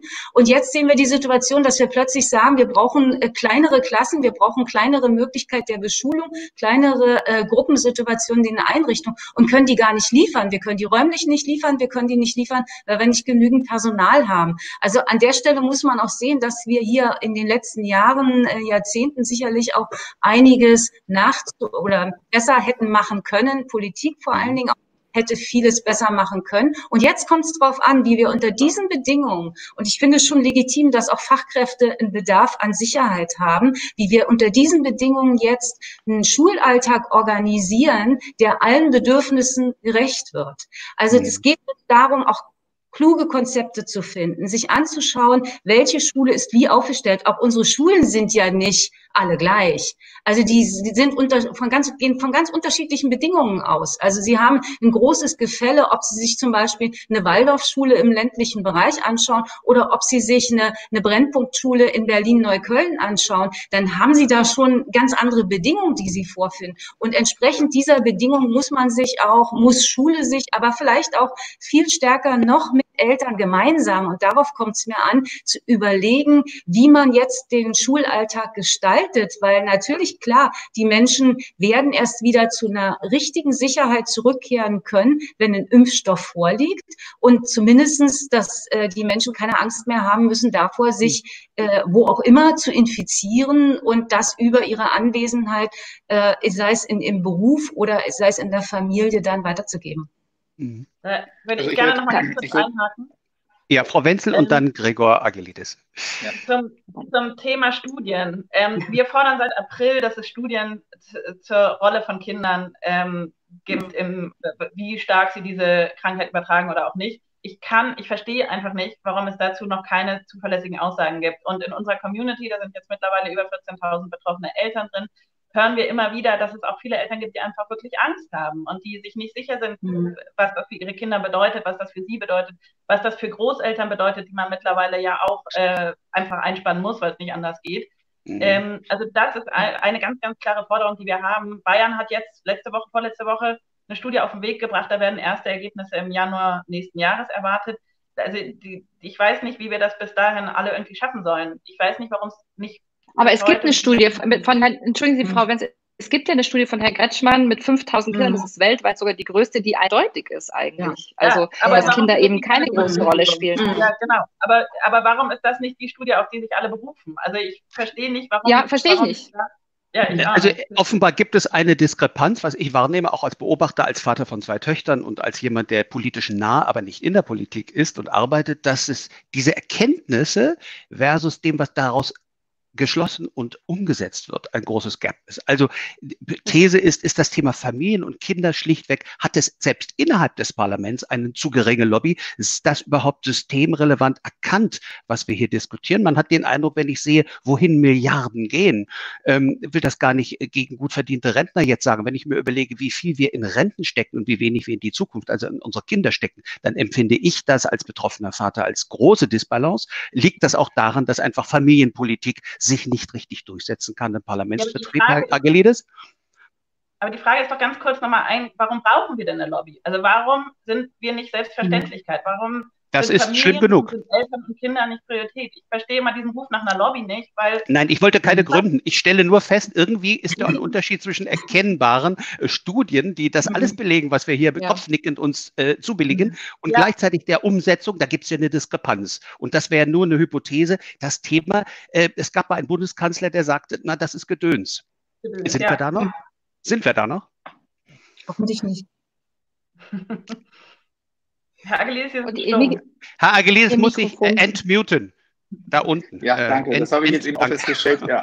äh, ja, herzlichen Dank äh, für den Hinweis. Das habe ich auch im Bundeskanzler, der gesagt hat, naja, Kinder kriegen die Menschen sowieso. Also das sind alles völlig absurde Gedanken. Mhm. Ähm, in die, meines Erachtens ein, ein Wissenschaftler oder ein Professor der Uni äh, Bonn hat das eigentlich sehr schön auf den, äh, auf den Punkt gebracht, was das Thema Studien angeht. Es gibt also zu der Zeitpunkt, als er den Gastbeitrag geschrieben hat, 18 Studien, die klar belegen, dass Kitas und Schulen keine Spreader sind. Punkt. Mhm. Und es gibt genau eine, wenn man sie denn Studie nennen will, von Herrn Drosten. Ähm, und äh, der hat, also das ist so wie wenn Sie ein, ein Sportspiel haben, ein Fußballspiel haben, und dann steht zur Halbzeit 18 zu 1 und dann sagt der eine, aber das Spiel ist noch offen. Ja, mhm. das ist absurd. Also es gibt schon lange Studien. Äh, ich, ich lasse jetzt mal Schweden außen vor, weil das ja sowieso immer für viele dann ein, ein Riesenpunkt äh, ist. Aber wir reden über Dänemark, wir reden über Norwegen, äh, wir reden über genug andere Länder, wir reden über Frankreich. Da ist es bekannt. Die Frage ist nur, hat man den Willen ähm, und hat man ähm, äh, den Abholpunkt in der Hose, zu sagen, nein, das ist so und deswegen öffnen wir die Kitas und die Schulen. Und selbstverständlich schauen wir darauf, dass möglichst das größtmögliche Maß an, an Hygiene und an Sicherheitsstandards eingeführt wird. Und zwar ist das natürlich von Schule zu Schule unterschiedlich zu sehen. Ähm, aber da von Regierungsseite quasi den, den Verantwortungspeter auf die Schulen und die Kommunen zu schieben, das halte ich, äh, also äh, da, da will, muss ich mich zurückhalten, um nicht die falschen Adjektive mhm. zu benutzen. Ja? ja? also da sehe ich Politik, das war das, was ich gemeint habe, da muss ähm, ganz klar zugunsten von Kindern, von, von Familien Stimmung gemacht werden oder nicht Stimmung, sondern Klima geschaffen werden. Mhm. Ähm, diese Angstmacherei, ja, die wir hatten. Und mhm. natürlich sind dann äh, auch, auch eine Reihe von, von, von, von, von Lehrern äh, verunsichert, ja. Äh, aber in Herrgotts Namen, äh, Pflegekräfte gehen auch zum Krankenhaus und in die Pflegeheime. Und äh, alle machen ihren Job. Und äh, mhm. ich denke, da muss Politik deutlich stärker am Flock setzen und mhm. muss sagen, wir machen das, wir schaffen das, wir, wenn es begründete Fälle gibt, wo es nun auf keinen Fall geht, wo das Risiko nicht angemessen ist oder nicht verantwortbar ist, da geht das nicht. Ja, ja, beim Stichwort aber, Angstmacherei also, ging bei Frau von Zurgarten der, der Finger hoch gerade oder war ja, das, das ja, auf Entschuldigen Sie, ja, das, natürlich. das empfinde ich persönlich, das empfinde ich persönlich mittlerweile sehr. Und äh, gestatten Sie mir einen Hinweis, ist auch dieser Hinweis mit dem Impfstoff. Wir können nicht darauf warten, also wir können uns darauf einigen, dass wir sagen, die Normalität kriegen wir im Zweifel, wenn die ersten Medikamente da sind oder was auch immer. Aber auf den Impfstoff zu warten, also ich bringe immer dieses Beispiel und dann nicken alle verständnisvoll. Ähm, AIDS kam hoch, als ich so um die 18 war. Ja, mhm. das ist 35 Jahre her. Da haben wir immer noch keinen Impfstoff. Also wir können nicht darauf warten. Das, das ähm, habe ich nicht gesagt. Hinweis, das habe ich nicht gesagt. Das, das bezog ich nicht auf Sie. Entschuldigen ja, Sie, das bezog ich nicht auf Sie. das ist genauso, äh, ich will das nur sagen, weil dieses Thema der, äh, weil es werden ja bewusst manchmal von politischer Seite Vergleiche angezogen oder Aussagen mhm. getroffen. Das beziehe ich jetzt nicht auf diese Runde. Also diese Runde ist sensationell, sachlich und konstruktiv. Aber da kommt mhm. von politischer Seite wirklich sehr häufig dieses Thema Angstmacherei. Dann machen, mhm. dann, dann ähm, wie soll ich formulieren, dann schlagen auf irgendwo Leute über die Stränge, halten sich nicht an die Regeln und dann wird so mhm. als erstes äh, der Reflex Schulen und Kitas. Ja. Ähm, und das muss aufhören. Ich ja, Angelis, geben Sie, genau, Frau von der, von der Karten die Chance der Korrektur. Was wollten Sie sagen?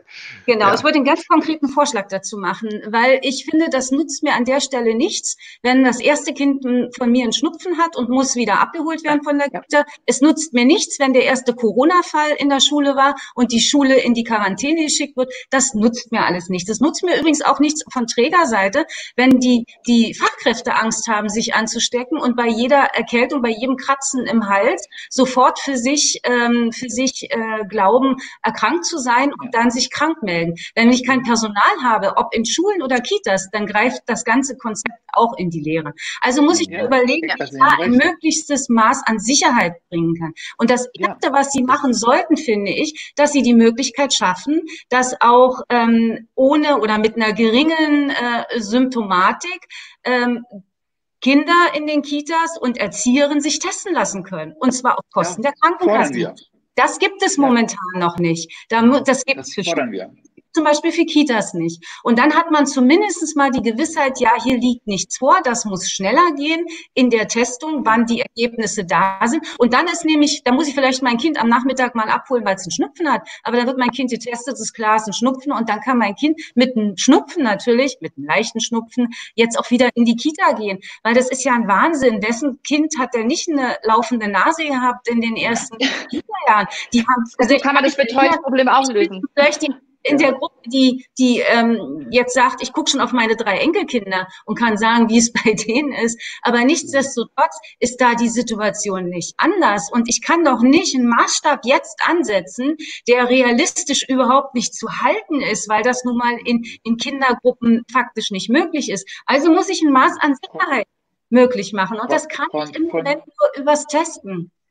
Ja, Frau von Zugarten, Sie, Sie, Sie tragen bei mir mit diesen Forderungen Eulen nach Athen, wenn ich das so sagen darf, weil genau das sind die Forderungen, die wir, die wir stellen. Das muss so sein. Mhm. Und äh, wenn wir das einfügen, dann müssen wir genauso eben dafür sorgen, dass wir den Menschen sagen, ähm, ihr, ihr braucht keine, also sag's mal so, ihr müsst jetzt nicht mit Panik oder mit Angst da reingehen, sondern wir gucken uns hier an, wir, wir sehen ja, was in anderen europäischen Ländern, die eben das Thema Kitas und Schulen äh, wissen Sie, manchmal habe ich das Gefühl, auch bei, deswegen sage ich Angstmacherei, äh, dann gibt es 1000 Schulen, die mhm. öffnen und dann gibt es eine Schule, wo etwas passiert und wo es nicht in der Schule mhm. sozusagen passiert, sondern in die Schule reingetragen wird. Und dann tut man so, als ob sozusagen ein Großteil der Schulen schuld an irgendetwas ist.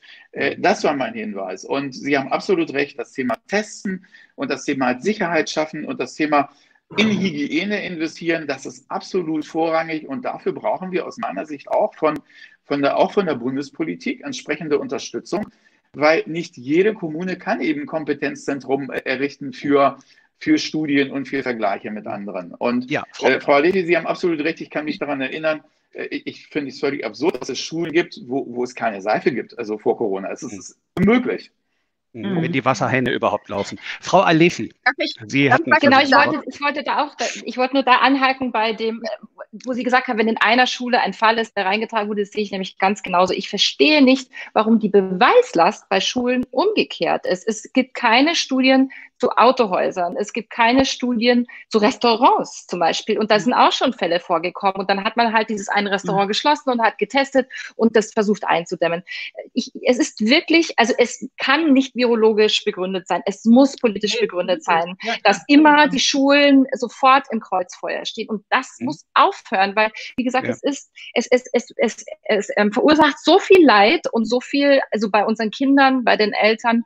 Es ist, also, es ist einfach die Verfassungsgerichte haben klargemacht, eine Maßnahme, wenn sie so eingreift in Rechte, mhm. muss gut begründet sein. Die ist überhaupt nicht begründet, die Maßnahme. Mhm. Mhm. Ja, es ist ein, äh, finde ich auch, wenn ich das aus Sicht, würde mich jetzt mal die Sicht der Soziologin hier nochmal interessieren, der Lebenslaufexperten. Es gibt ja wohl auch Studien, die, ich habe die Zahlen nicht im Sinn, die signalisieren, wie lange jetzt schon, wenn wir vier Monate nicht lernen und eine ganze Nation stillsteht im Weiterkommen, was das langfristig für Folgekosten hat. Also das ist das momentane Entlasten der Eltern ist das eine, dass die Kinder ihren Sozialbezug verlieren, aber die langfristige äh, Verlustrechnung, die sich in der, in der bildungsökonomischen Rechnung, die muss man ja auch irgendwann mal aufmachen, was wir, was unsere Kinder eben nicht lernen jetzt, äh, dramatische Auswirkungen hat. Ist das, äh, kennen Sie diese Studien oder haben Sie äh, konkreteres zu, Frau Lutz?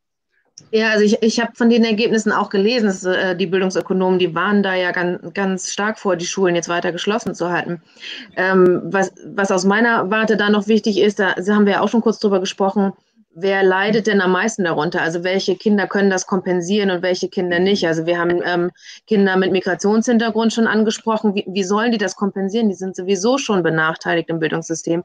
Wie sollen das Kinder ähm, kompensieren, die aus ähm, bildungsfernen Haushalten kommen, die eventuell noch nicht mal ein Endgerät zu Hause haben und sowieso keine Bücher? Die, für die ist es besonders schwierig. Also das, ähm, Kinder aus gebildeten Elternhäusern, die, die kriegen das vielleicht noch hin oder haben die letzten Monate hingekriegt. Mhm. Wenn das jetzt aber so weitergeht, kommen, kommen die halt auch an ihre Grenzen. Also das, ja. das werden wir langfristig sehen, was, wie sich das niederschlägt in, in Kindern, die mhm. nicht versetzt werden oder die Klassen wiederholen müssen oder früher abgehen vielleicht.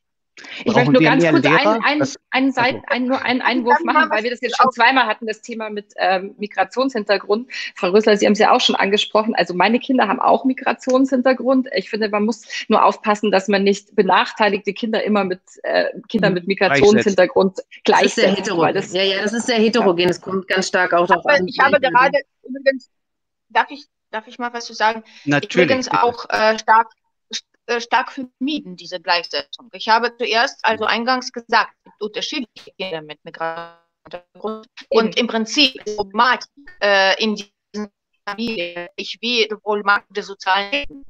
Also die Kinder mit Migrationsgrund, die aus Familien mit dem hohen Bildungsstandard, also haben viel, viel besser als viele Kinder ohne Migrationshintergrund, die aus Familien mit niedrigem Bildungsstandard. Also deswegen mhm. äh, habe ich eingangs äh, deutlich, glaube ich, gesagt.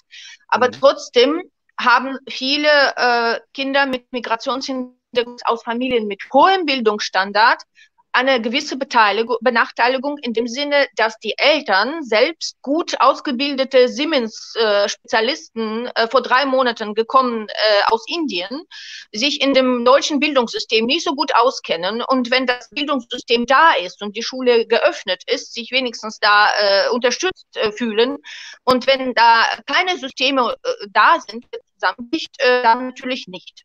Ja, mhm. also ich kann viele, viele kleinere Beispiele jetzt äh, der auch der Systembenachteiligung nennen, was Noten anbetrifft, zum Beispiel Notenvergabe, Zeugnisse, Versetzung, wo wirklich Also die Probleme darin liegen, dass die Eltern das System einfach nicht durchdringen, dass den Kindern nicht auch vermitteln können, dass sie richtig an der Schule verhalten sollen.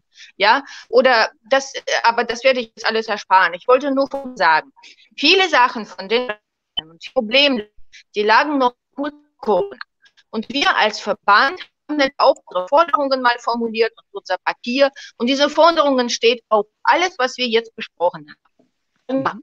Personalfrage, mehr Personal an den Migrationshintergrund und so weiter.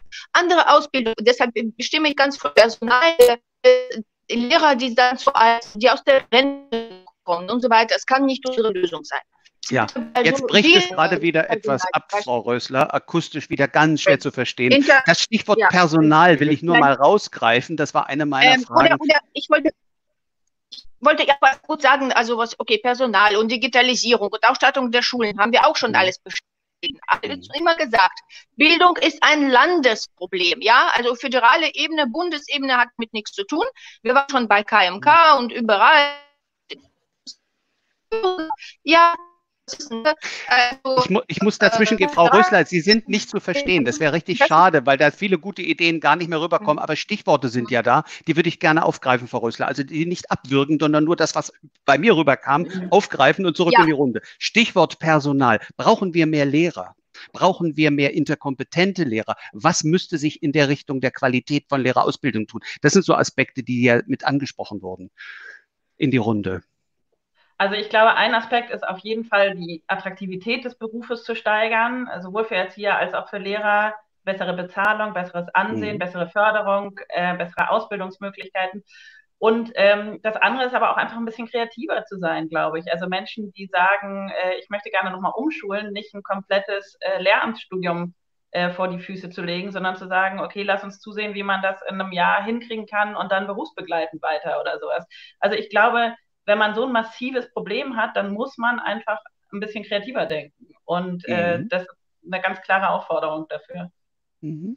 Ja, sehe ich auch so. Und auch die äh, Ausstattung ist auch so ein Thema. Also, wie gesagt, an der Schule meiner Kinder haben, und es ist, glaube ich, in fast allen Schulen so, die Lehrer bekommen ja noch nicht mal einen Computer, einen Drucker gestellt. Also, das müssen sie alles privat sich beschaffen. Mhm. Bei welchem Arbeitgeber ist das so? Also, da, da mhm. geht es einfach auch darum, dass die Ausstattung und, und Ausbildung mhm. auch, was jetzt auch die, die ähm, ähm, Digitalisierung, das müssen die ja auch wiederum den Kindern irgendwie vermitteln. Das ist, kommt null vor. Und das ist mhm. wirklich, also ich finde, das hat also die Corona-Krise ganz deutlich gezeigt, auch, dass sich da was ändern muss und dass da Gelder reinfließen müssen, ganz dringend. Ja, ja. Jetzt ist Herr Agelides hat sich irgendwie verabschiedet, zumindest hier aus dieser Runde, sehe ich ihn nicht mehr. Kommt sicher gleich und hoffentlich gleich wieder rein. Vielleicht Herr Graf, sofern Sie uns, das ist der technische Unterstützer im Hintergrund, äh, helfen kann, dass Herr Agelides wieder zu uns kommt. Das wäre ganz hilfreich. So viele Fragen werden jetzt auch an ihn gehen. Er ist ja auch einer derer, die diese zumindest bundespolitische Verantwortung äh, als Sprecher der Fraktion in dem Bereich hat. Ähm, welche, welche andere Frage wäre noch von, was kam bei Ihnen? Ich will Frau Rösler einfach nicht, das tat mir so leid, dass das wieder ja, technisch also meine, war. Meine, meine ganz wichtige Frage, eine Problematik war, dass, dass man uns immer sagt, und das ist auch in Deutschland, also Bildung ist ein Länder. Ah, hm. also deswegen ähm, kann der Bund da äh, relativ wenig bewirken. Äh, ist das so? Weil jedes Herr Land so ein eigenes hat. Ja, genau. Ähm, also äh, ja, es ist, ähm, also Bildungspolitik ist nun mal Länderkompetenzsache, ähm, aber es sind zwei Aspekte, die ich äh, doch nicht hier ähm, unter den Tisch fallen lassen möchte, sondern wie wir es ja beim Thema des Digitalpakts gesehen haben, äh, mit der entsprechenden Grundgesetzänderung, die wir ja im Bundestag eingebracht haben, ähm, kriegen wir da eine Menge hin. Ich glaube auch, dass äh, der Vorschlag, den wir haben, dass wir sagen, wir brauchen da bundesweite Standards ja, also wir wollen ja nicht äh, jeden Lehrer und jede Kommune von Berlin aussteuern. Das wäre ja absurd.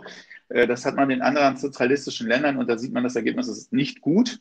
Ja, ähm, äh, aber das Thema der Standards, die wir setzen müssen, in dem, wie muss eine Schule ausgestattet sein? Wie, wie sieht es eigentlich aus von dem, was muss dann eigentlich Schule leisten gegenüber den, den, den äh, Kindern und Schülern? Und äh, bitte anders als das, was passiert ist, ähm, äh, als, als die PISA-Studien rauskamen, wo dann am Ende des Tages ja der größte Druck dann auf die Familien und die Schüler ähm, mhm. äh, rübergegangen ist. ähm, sondern da müssen wir im Endeffekt, ähm, da müssen wir im Endeffekt zusehen, wirklich bundesweite Standards. Da müssen wir hin. Dafür muss Bundesregierung kämpfen und dafür muss sie sich einsetzen. So, und der zweite Punkt, und da kann äh, äh Bundespolitik auch verdammt viel machen, ist das Thema, wenn wir über Kinderarmut und Kindergrundsicherung reden, ist das Thema der Bildung und Teilhabe, der, der, des Themas, was für Chancen geben wir? Wie ist dieses System, das Konzept ausgerichtet, dass Kinder die größtmögliche, ähm, ich sage jetzt mal, äh, die bestmöglichen Chancen haben, sich zu entwickeln? Da kann Bundespolitik sehr wohl sehr viel machen. Äh, und insofern sind das zwei äh, sehr, sehr wichtige und große Baustellen, ähm, die wir anliegen können. Äh, wo wir auch aufpassen müssen, ist, dass wir quasi ähm, äh, über dieses Thema, wir brauchen mehr Personal, ja, das brauchen wir. Ähm, und, und wir wollen auch mehr Qualität hinkriegen. All das, was wir sozusagen an bestehenden Potenzialen haben, Dinge zu verbessern, äh, quasi auch nur auf diese lange Bank schieben, sondern wir müssen beides machen. Äh, mhm. Wir müssen jetzt die, diese, die Strukturen über Standards, über Prozesse und über direkte Unterstützung dann an die Familien mit äh, Hardware und ähnlichem äh, verbessern und das Thema zusätzliches Personal und äh, Qualität, das ist sozusagen noch obendrauf. Ja, das Stichwort Qualität bringen Sie, Frau von Sogarten, ganz häufig in Publikationen, wie ich in der Vorrecherche mhm. gesehen und gelesen habe. Was heißt für Sie Qualität in der Bildung? Äh, was können wir jetzt vielleicht auch in der Corona-Zeit jetzt vorbereiten, damit daran äh, in, der, in, den nächsten Jahren äh, eine Steigerung zu erkennen wird? Ja, man muss sich da unterschiedliche Qualitätsdimensionen anschauen. Mhm. Das ist einmal die Strukturqualität. Da schaut man sich natürlich an, was ist vor Ort vorhanden, etwa in den Kindertageseinrichtungen. Wie ist die Relation von Fachkraft und Kindern? Wie ist das alterstechnisch nochmal ausgestattet? Mhm. Wie sind die Räumlichkeiten, die vorherrschen? Wie ist die Leitungsfreistellung zum Beispiel für die ganzen administrativen Aufgaben, die Leitung zunehmend auch ähm, zu leisten hat? Das sind alles Fragen, äh, die sicherlich auch in einer anderen Art und Weise auch auf Schule zutreffen. Auch da ist die Frage, wie äh, ist denn die Klassengröße, wie sind, äh, wie ist zum Beispiel Inklusion umgesetzt. Das trifft auf alle Bereiche zu. Wir haben noch gar nicht über die Situation gesprochen von Eltern mit behinderten Kindern, die oftmals in der Corona-Zeit aufgrund ihrer Behinderung schon vollkommen außen vor bleiben, und zwar in Kita und Schule, weil man gleichsam davon ausgeht, dass jede Behinderung auch gleich ein höheres Infektionsrisiko mit sich bringt und sie per se mhm. zu Risikogruppen hören, was so mhm. einfach definitiv nicht richtig ist. Und auch diese Kinder haben ein Recht auf äh, Teilhabe, auf, Schu auf Bildung, auf Schule, auf Partizipation. Also das ist das eine, das Strukturmerkmal, aber wir haben natürlich auch äh, in der Qualität der Bildungsangebote, in der Interaktion zwischen Kindern und Erzieherinnen oder Kindern und äh, Jugendlichen und ihren Lehrern natürlich da ähm, sicherlich hier und da noch ähm, Luft nach oben, sage ich mal ganz vorsichtig, wobei wir da auch nicht, da kann man das Kind auch nicht mit dem Bade ausschütten, weil natürlich haben wir hier auch ein ganzes Spektrum an unterschiedlichen äh, Konzepten in Einrichtungen, in Schulen. Da sind weder die mhm. Schulen äh, noch die Kindertageseinrichtungen alle gleich. Und ich mhm. glaube, es ist wichtig, dass wir genau hinschauen, welche Schule äh, mit welchem Konzept, mit welchem, mit welchem Profil arbeitet, genauso wie in Kindertages Bildungseinrichtung, aber dass wir ihnen allen die Möglichkeiten, die Rahmung zur Verfügung stellen, damit sie auch wirklich hochqualitative Arbeit abliefern können, weil das ist eben faktisch kaum möglich, wenn ich eine Klassengröße von 30 äh, und mehr in einer Klasse habe und das unter den Bedingungen von Corona mit, mit Abstandsgebot und Hygieneregeln ist das faktisch kaum noch möglich. Und dann mhm. muss man eben schauen, wie man in den Einrichtungen kluge, intelligente Konzepte strickt. Und da nochmal mein Hinweis, dass man das nicht ohne Beteiligung der Kinder und Jugendlichen machen sollte. Mhm. Genauso wie der mhm. Eltern. Weil wenn man die Eltern nicht ins Boot kriegt und mit den Eltern endlich auch so ein Dialog anfängt, wie das Ganze gehen kann, dann glaube ich, laufen die Dinge weiter auseinander. Die Ängste bei Eltern und Kindern und Jugendlichen werden zunehmen, gerade bei denen, die in Abgangsklassen sind, wo nicht klar ist, was dann am Ende des Tages mit den Zertifikaten, die sie dann erwerben, auch wirklich zu, äh, wofür die dann stehen in Zeiten, wo Beschulung nur partiell äh, stattfindet. Und ein, ein Punkt muss uns wirklich muss uns wirklich, wirklich ähm, nachdenklich bis bestürzt machen, wenn Lehrer melden, dass sie bis zu 20 Prozent ihrer Schülerschaft in Zeiten von Corona gar nicht erreicht haben. Da glaube ich, da muss Politik äh, ganz schnell schauen, wie sie ja. da für bessere Rahmungen sorgen, weil wir können und wir dürfen uns das nicht erlauben, dass wir so viele Kinder geradezu sträflich zurücklassen und die Benachteiligung, die oftmals aufgrund der sozialen Situation der Kinder mhm. und Jugendlichen schon gegeben ist, nochmal manifestieren und damit ja. unter Umständen eine ganze Generation verlieren. Ja, das war auch in der Bertelsmann-Studie. Hm. Frau Wenzel, ja, pardon. Ja, und nicht nur, nicht nur dieser Armutsaspekt, sondern auch wirklich ähm, um, ums kindliche Wohl sich sorgend. Also wenn man liest, dass gerade eine Studie der Charité veröffentlicht worden, 23 Prozent mehr Fälle von Kindesmisshandlungen im ersten halben Jahr im Vergleich zum letzten Jahr. Da kommen mir als Mutter wirklich die Tränen in die Augen. Wie kann mhm. man das mhm. einfach so stehen lassen? Also das mhm. ist, das geht nicht, finde ich. Ja, ja, also die Kollateralschäden des einfach Zumachens von Schule und Kita, die sind offensichtlich, das ist, denke ich, eine zentrale mhm. Forderung, die ich hier insgesamt als Konsens, als Punkt Nummer eins schon mal rauslese. Äh, so eine halbe Stunde etwa haben wir ja noch. Ich wollte so mal an dem Punkt nochmal hinschauen, was ist so äh, konsensfähig. Also es definitiv die Forderung wieder aufmachen, unter Berücksichtigung und Wahrung natürlich von Sicherheit und Gesundheitsaspekten. Und äh, aber es gibt äh, kaum eine Alternative zum Wiederöffnen, weil natürlich sind auch Kinder gefährdet. Natürlich können sie anstecken, aber diese Super Spreader oder Hotspot Multiplikationsbefürchtungen zeigen Studien, sofern ich sie kenne, mhm. haben sich nicht bewahrheitet. Also insofern muss man abwägen, was sind die Folgeschäden, die wir billigend als Gesellschaft in Kauf nehmen, wenn wir weiter einfach zumachen und die Zögerlichkeit weiter dominiert und wo müssen wir mutiger werden. Ein zweiter Aspekt, den ich für mich rausnehme, den ich hier auch höre, ist häufig, wir hören ja, es ist nicht nur ein Thema, ähm, wo sich äh, jetzt Eltern äh, mit Lehrern zusammensetzen. Es ist ein interdisziplinäres Thema. Ähm, mir fehlt auch in der vielen, vielen Aspekten der Corona-Bewältigung die Zusammensetzung interdisziplinärer Beratungs Gruppen auch für die Regierung. Vielleicht finden die statt. Äh, mir sind sie nicht immer bekannt, aber man hat den Eindruck, es sind geschlossene Kreise, die sich selbst vergewissern. Das war am Anfang die Virologen mit der Bundesregierung, wo man eben auch sich gewünscht hätte, da wären Eltern schon dabei gewesen und hätten über ihre Nöte und Sorgen mal berichten können, genauso wie Lehrer einzubeziehen. Wäre das nicht auch ein Ansatz aus Ihrer Sicht, vielleicht den Aspekt des interdisziplinären Beitrags mal zu schauen? Ähm, wo würden Sie sagen, was müsste passieren mit Blick auch auf den Punkt drei, den wir ja auch heute noch aufmachen wollen, wenn wir nach vorne schauen? Äh, was ist jetzt, was wir vielleicht hier und heute noch miteinander ähm, als Ideen mitbringen und in den Herbst tragen könnten, die wir wieder aufgreifen? Ähm, was wären Dinge, wo Sie denken, da wären Sie gewillt, nochmal mit zusammenzukommen, etwas reinzubringen. Und wer sollte, der heute nicht dabei ist, es sind ja viele mhm. Disziplinen nicht vertreten, wer müsste auf jeden Fall dazukommen?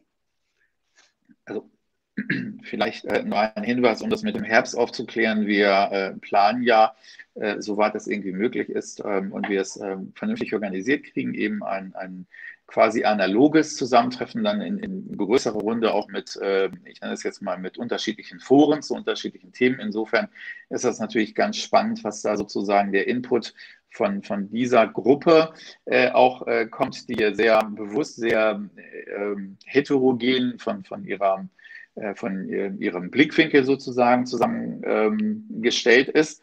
Ähm, ich denke, diesen Punkt der interdisziplinären äh, Konstellation, ja, das ist ja auch der Grund, warum wir sagen, wir brauchen jetzt relativ zügig eigentlich äh, ähm, einen, einen, ich nenne es mal Evaluationsgipfel, der dann nach vorne guckt von der Regierung und der muss natürlich interdisziplinär zusammengestellt sein und der muss natürlich auch das Thema Eltern Beteiligung mhm. und auch der, der, der, Beteiligung der Jugendlichen, inwiefern wir dann auch ähm, sage jetzt mal ganz junge Kinder mit beteiligen können, dann in dem Forum äh, mal dahingestellt.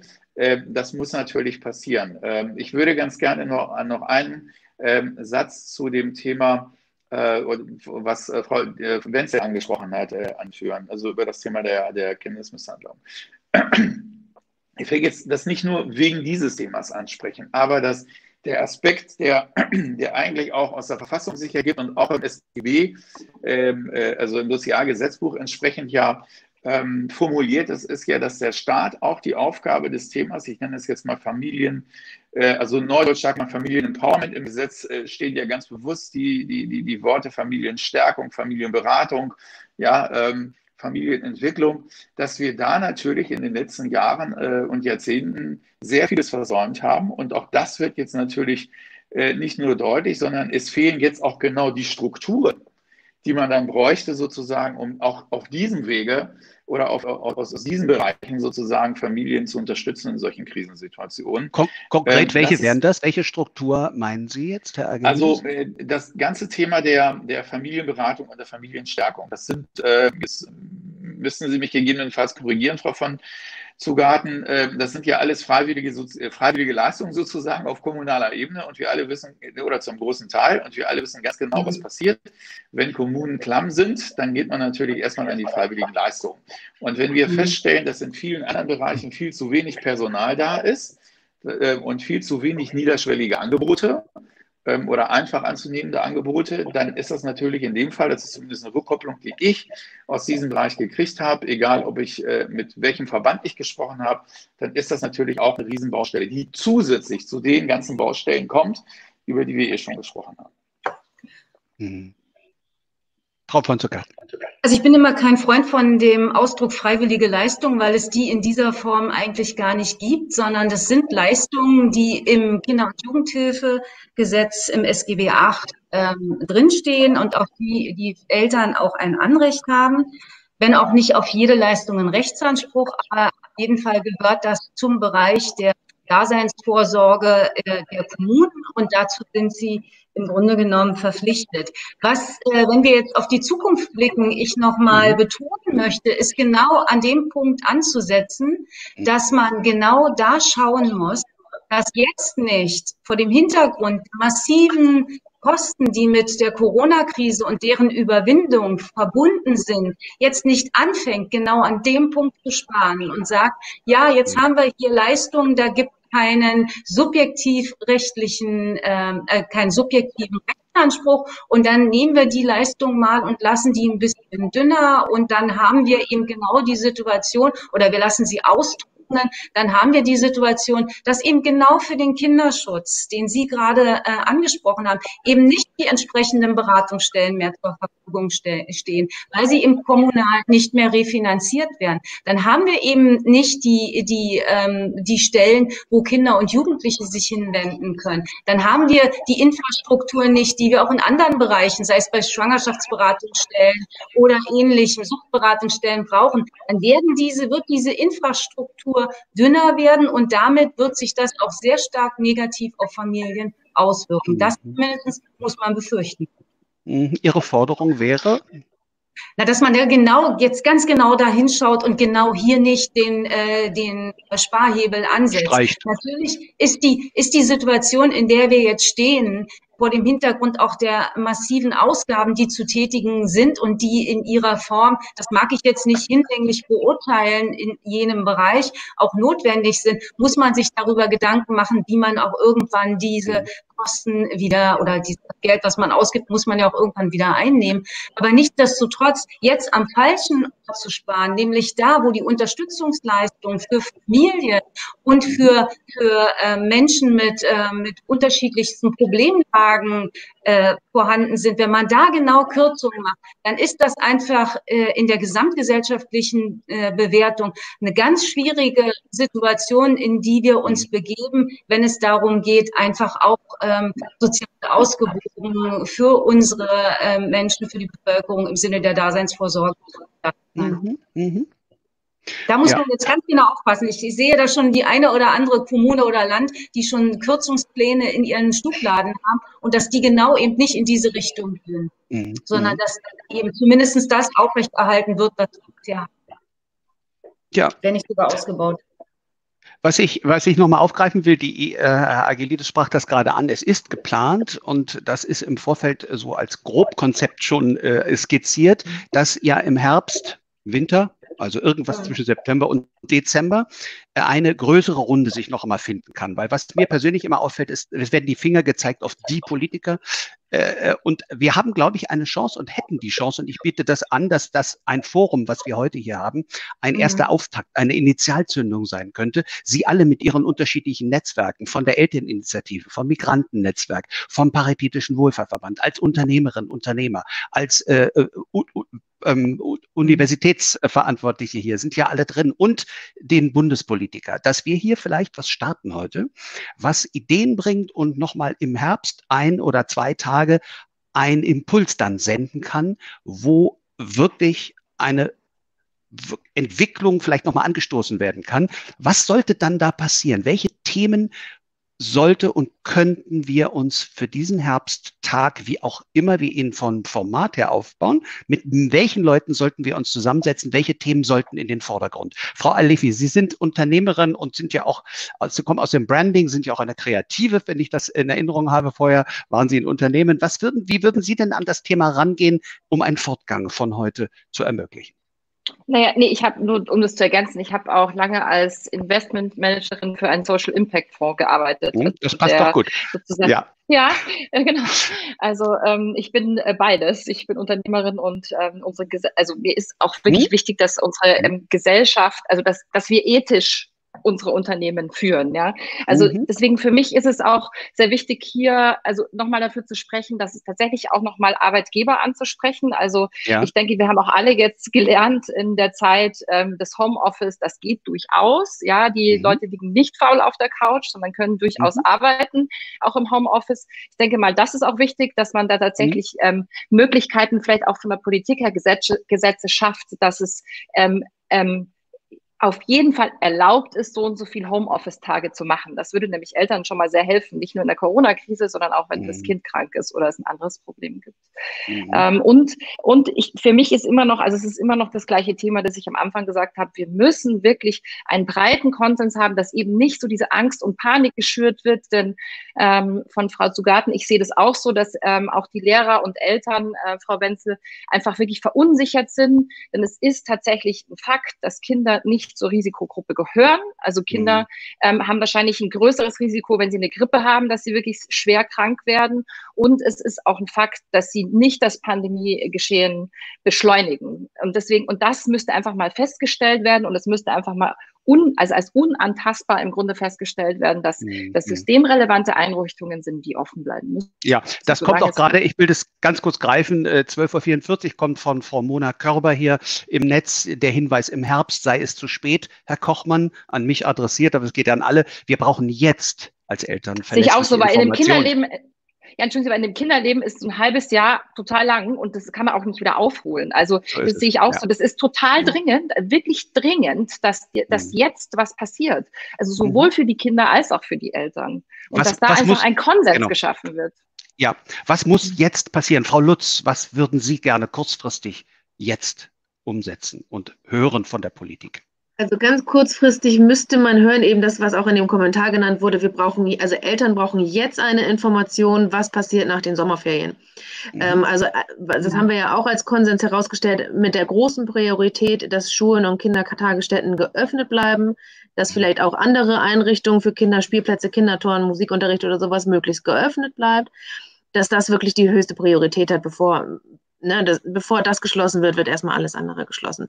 Ja, und was, ja. was ich aber auch wichtig finde, in Plan B, sollte das wirklich ähm, unter gesundheitlichen, also für die Gesundheit nicht, also sollte es nicht sicher genug sein, diese Einrichtung offen zu lassen, was passiert dann? Also ähm, auch ein Plan mhm. B finde ich ist absolut notwendig, damit sich Eltern darauf einstellen können. Und wer, sonst, soll, wer soll den schreiben, den Plan B?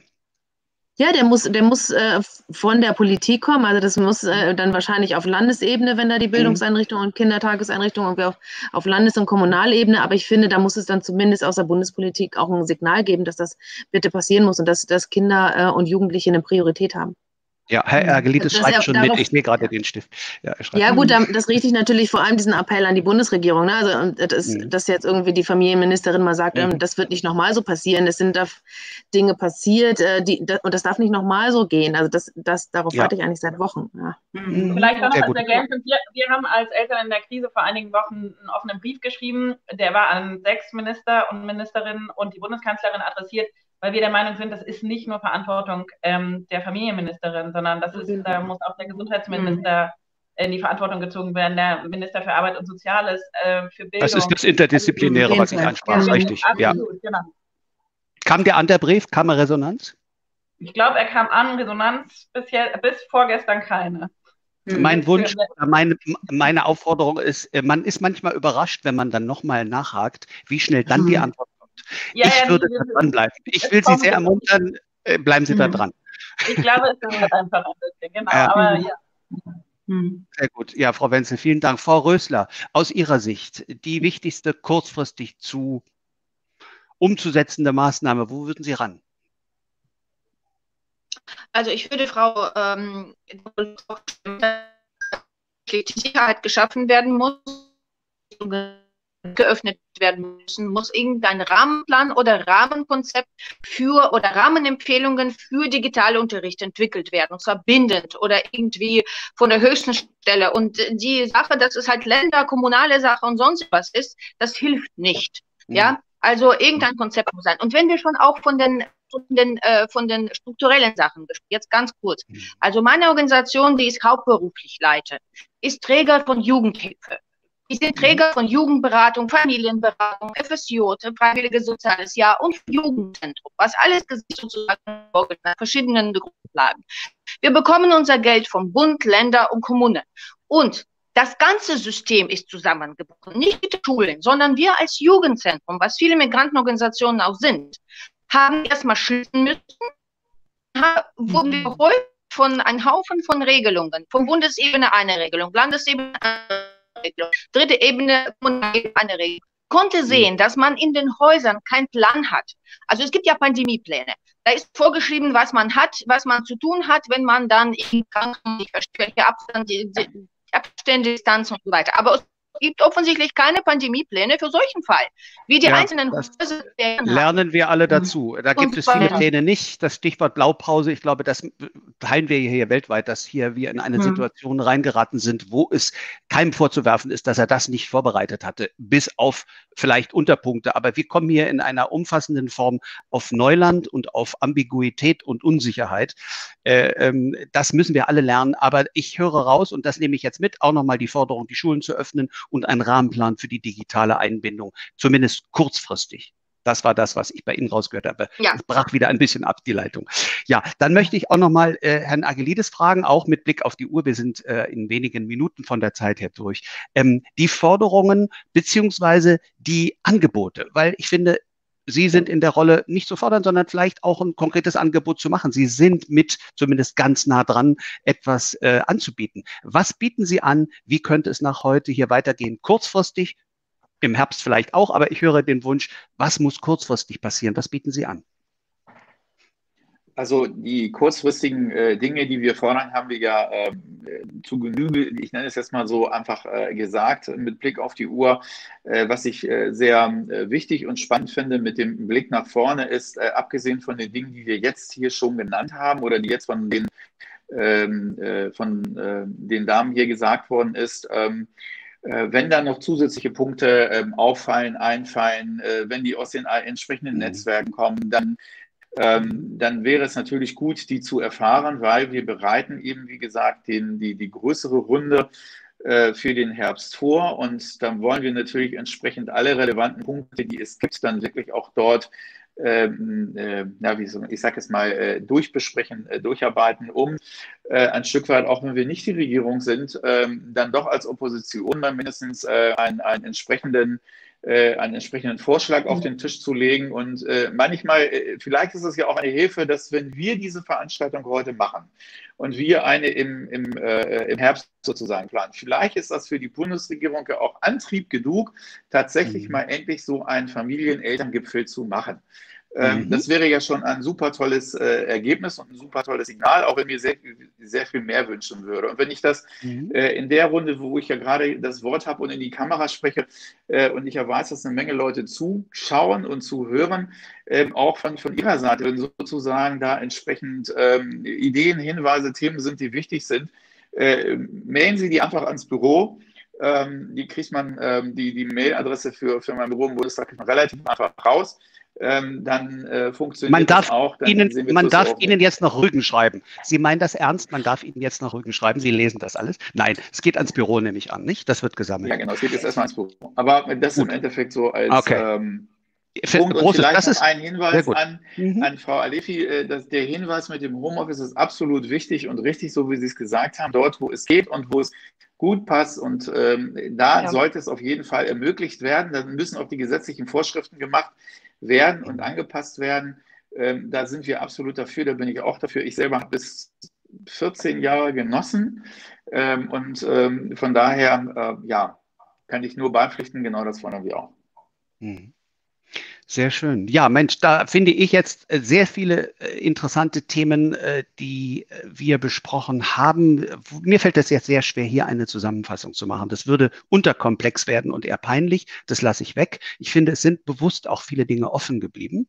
Was gut ist, es gibt Perspektiven. Es gibt Perspektiven. Erstmal kurzfristig danke, Herr Agelides. Man kann die Ideen auch an die Zuschauerinnen, Zuschauer und die Zuhörerinnen und Zuhörer, man kann das ja sammeln und bitte an das Büro von Gregorius Agilides in der Bundestagsfraktion nochmal zusenden. Dann haben wir ein bisschen Futter. Was sind Ihre Erwartungen und Wünsche kurzfristig bis mittelfristig? Und ich freue mich drauf auf die äh, Möglichkeit, dass wir vielleicht in einem größeren Eltern Lehrer, betroffenen Dialog, interdisziplinär, wie auch immer das Ganze dann aufgesetzt wird, im Spätsommer, möchte ich es fast formulieren, weil Herbst klingt in der Tat noch kurz vor Weihnachtsferien. Das ist zu spät, sondern bald noch einmal verdichtet, vertieft mit mehr Menschen diese angebrochenen Themen und die Bälle, die hier in der Luft sind, nochmal aufzugreifen und vielleicht mit drei, vier sehr konkreten Forderungen rauszugehen. Das wäre eine Möglichkeit, etwas, was ich auch anbiete, in irgendeiner Form ähm, dann zu unterstützen. Aber Sie können einfach ähm, darauf setzen, dass vielleicht von heute ein erster Impuls und ein paar Ideen rausgehen in die Familien, in ihre Verbände, in ihre Netzwerke. Und ich möchte mich bei Ihnen allen an der Stelle bedanken für diese Offenheit. Ich fand die Zusammenstellung umso bereichernder. Jetzt merke ich nach zwei Stunden so viele Perspektiven. Das nächste Mal wünsche ich mir als Mann in der Tat, dass das Thema Familie nicht nur von Frauen vertreten wird, sondern dass vielleicht zwei, drei Männer auch dabei sind, vielleicht mal die äh, Forderung in diese Richtung zu bringen. Aber mir hat es Spaß gemacht mit Ihnen. Ich danke Ihnen für Ihre Offenheit und äh, wünsche Ihnen jetzt einen schönen Rest des Sommers, in welchen Bundesländern auch immer, äh, haben Sie noch ein paar Wochen vor sich. Berlin hat noch zweieinhalb Wochen und insofern genießen Sie die Zeit, sofern Sie es können, bleiben Sie gesund und ich freue mich sehr auf ein Wiedersehen, wann auch immer gerne, auch Präsenz, wenn wieder möglich. In dem Sinne.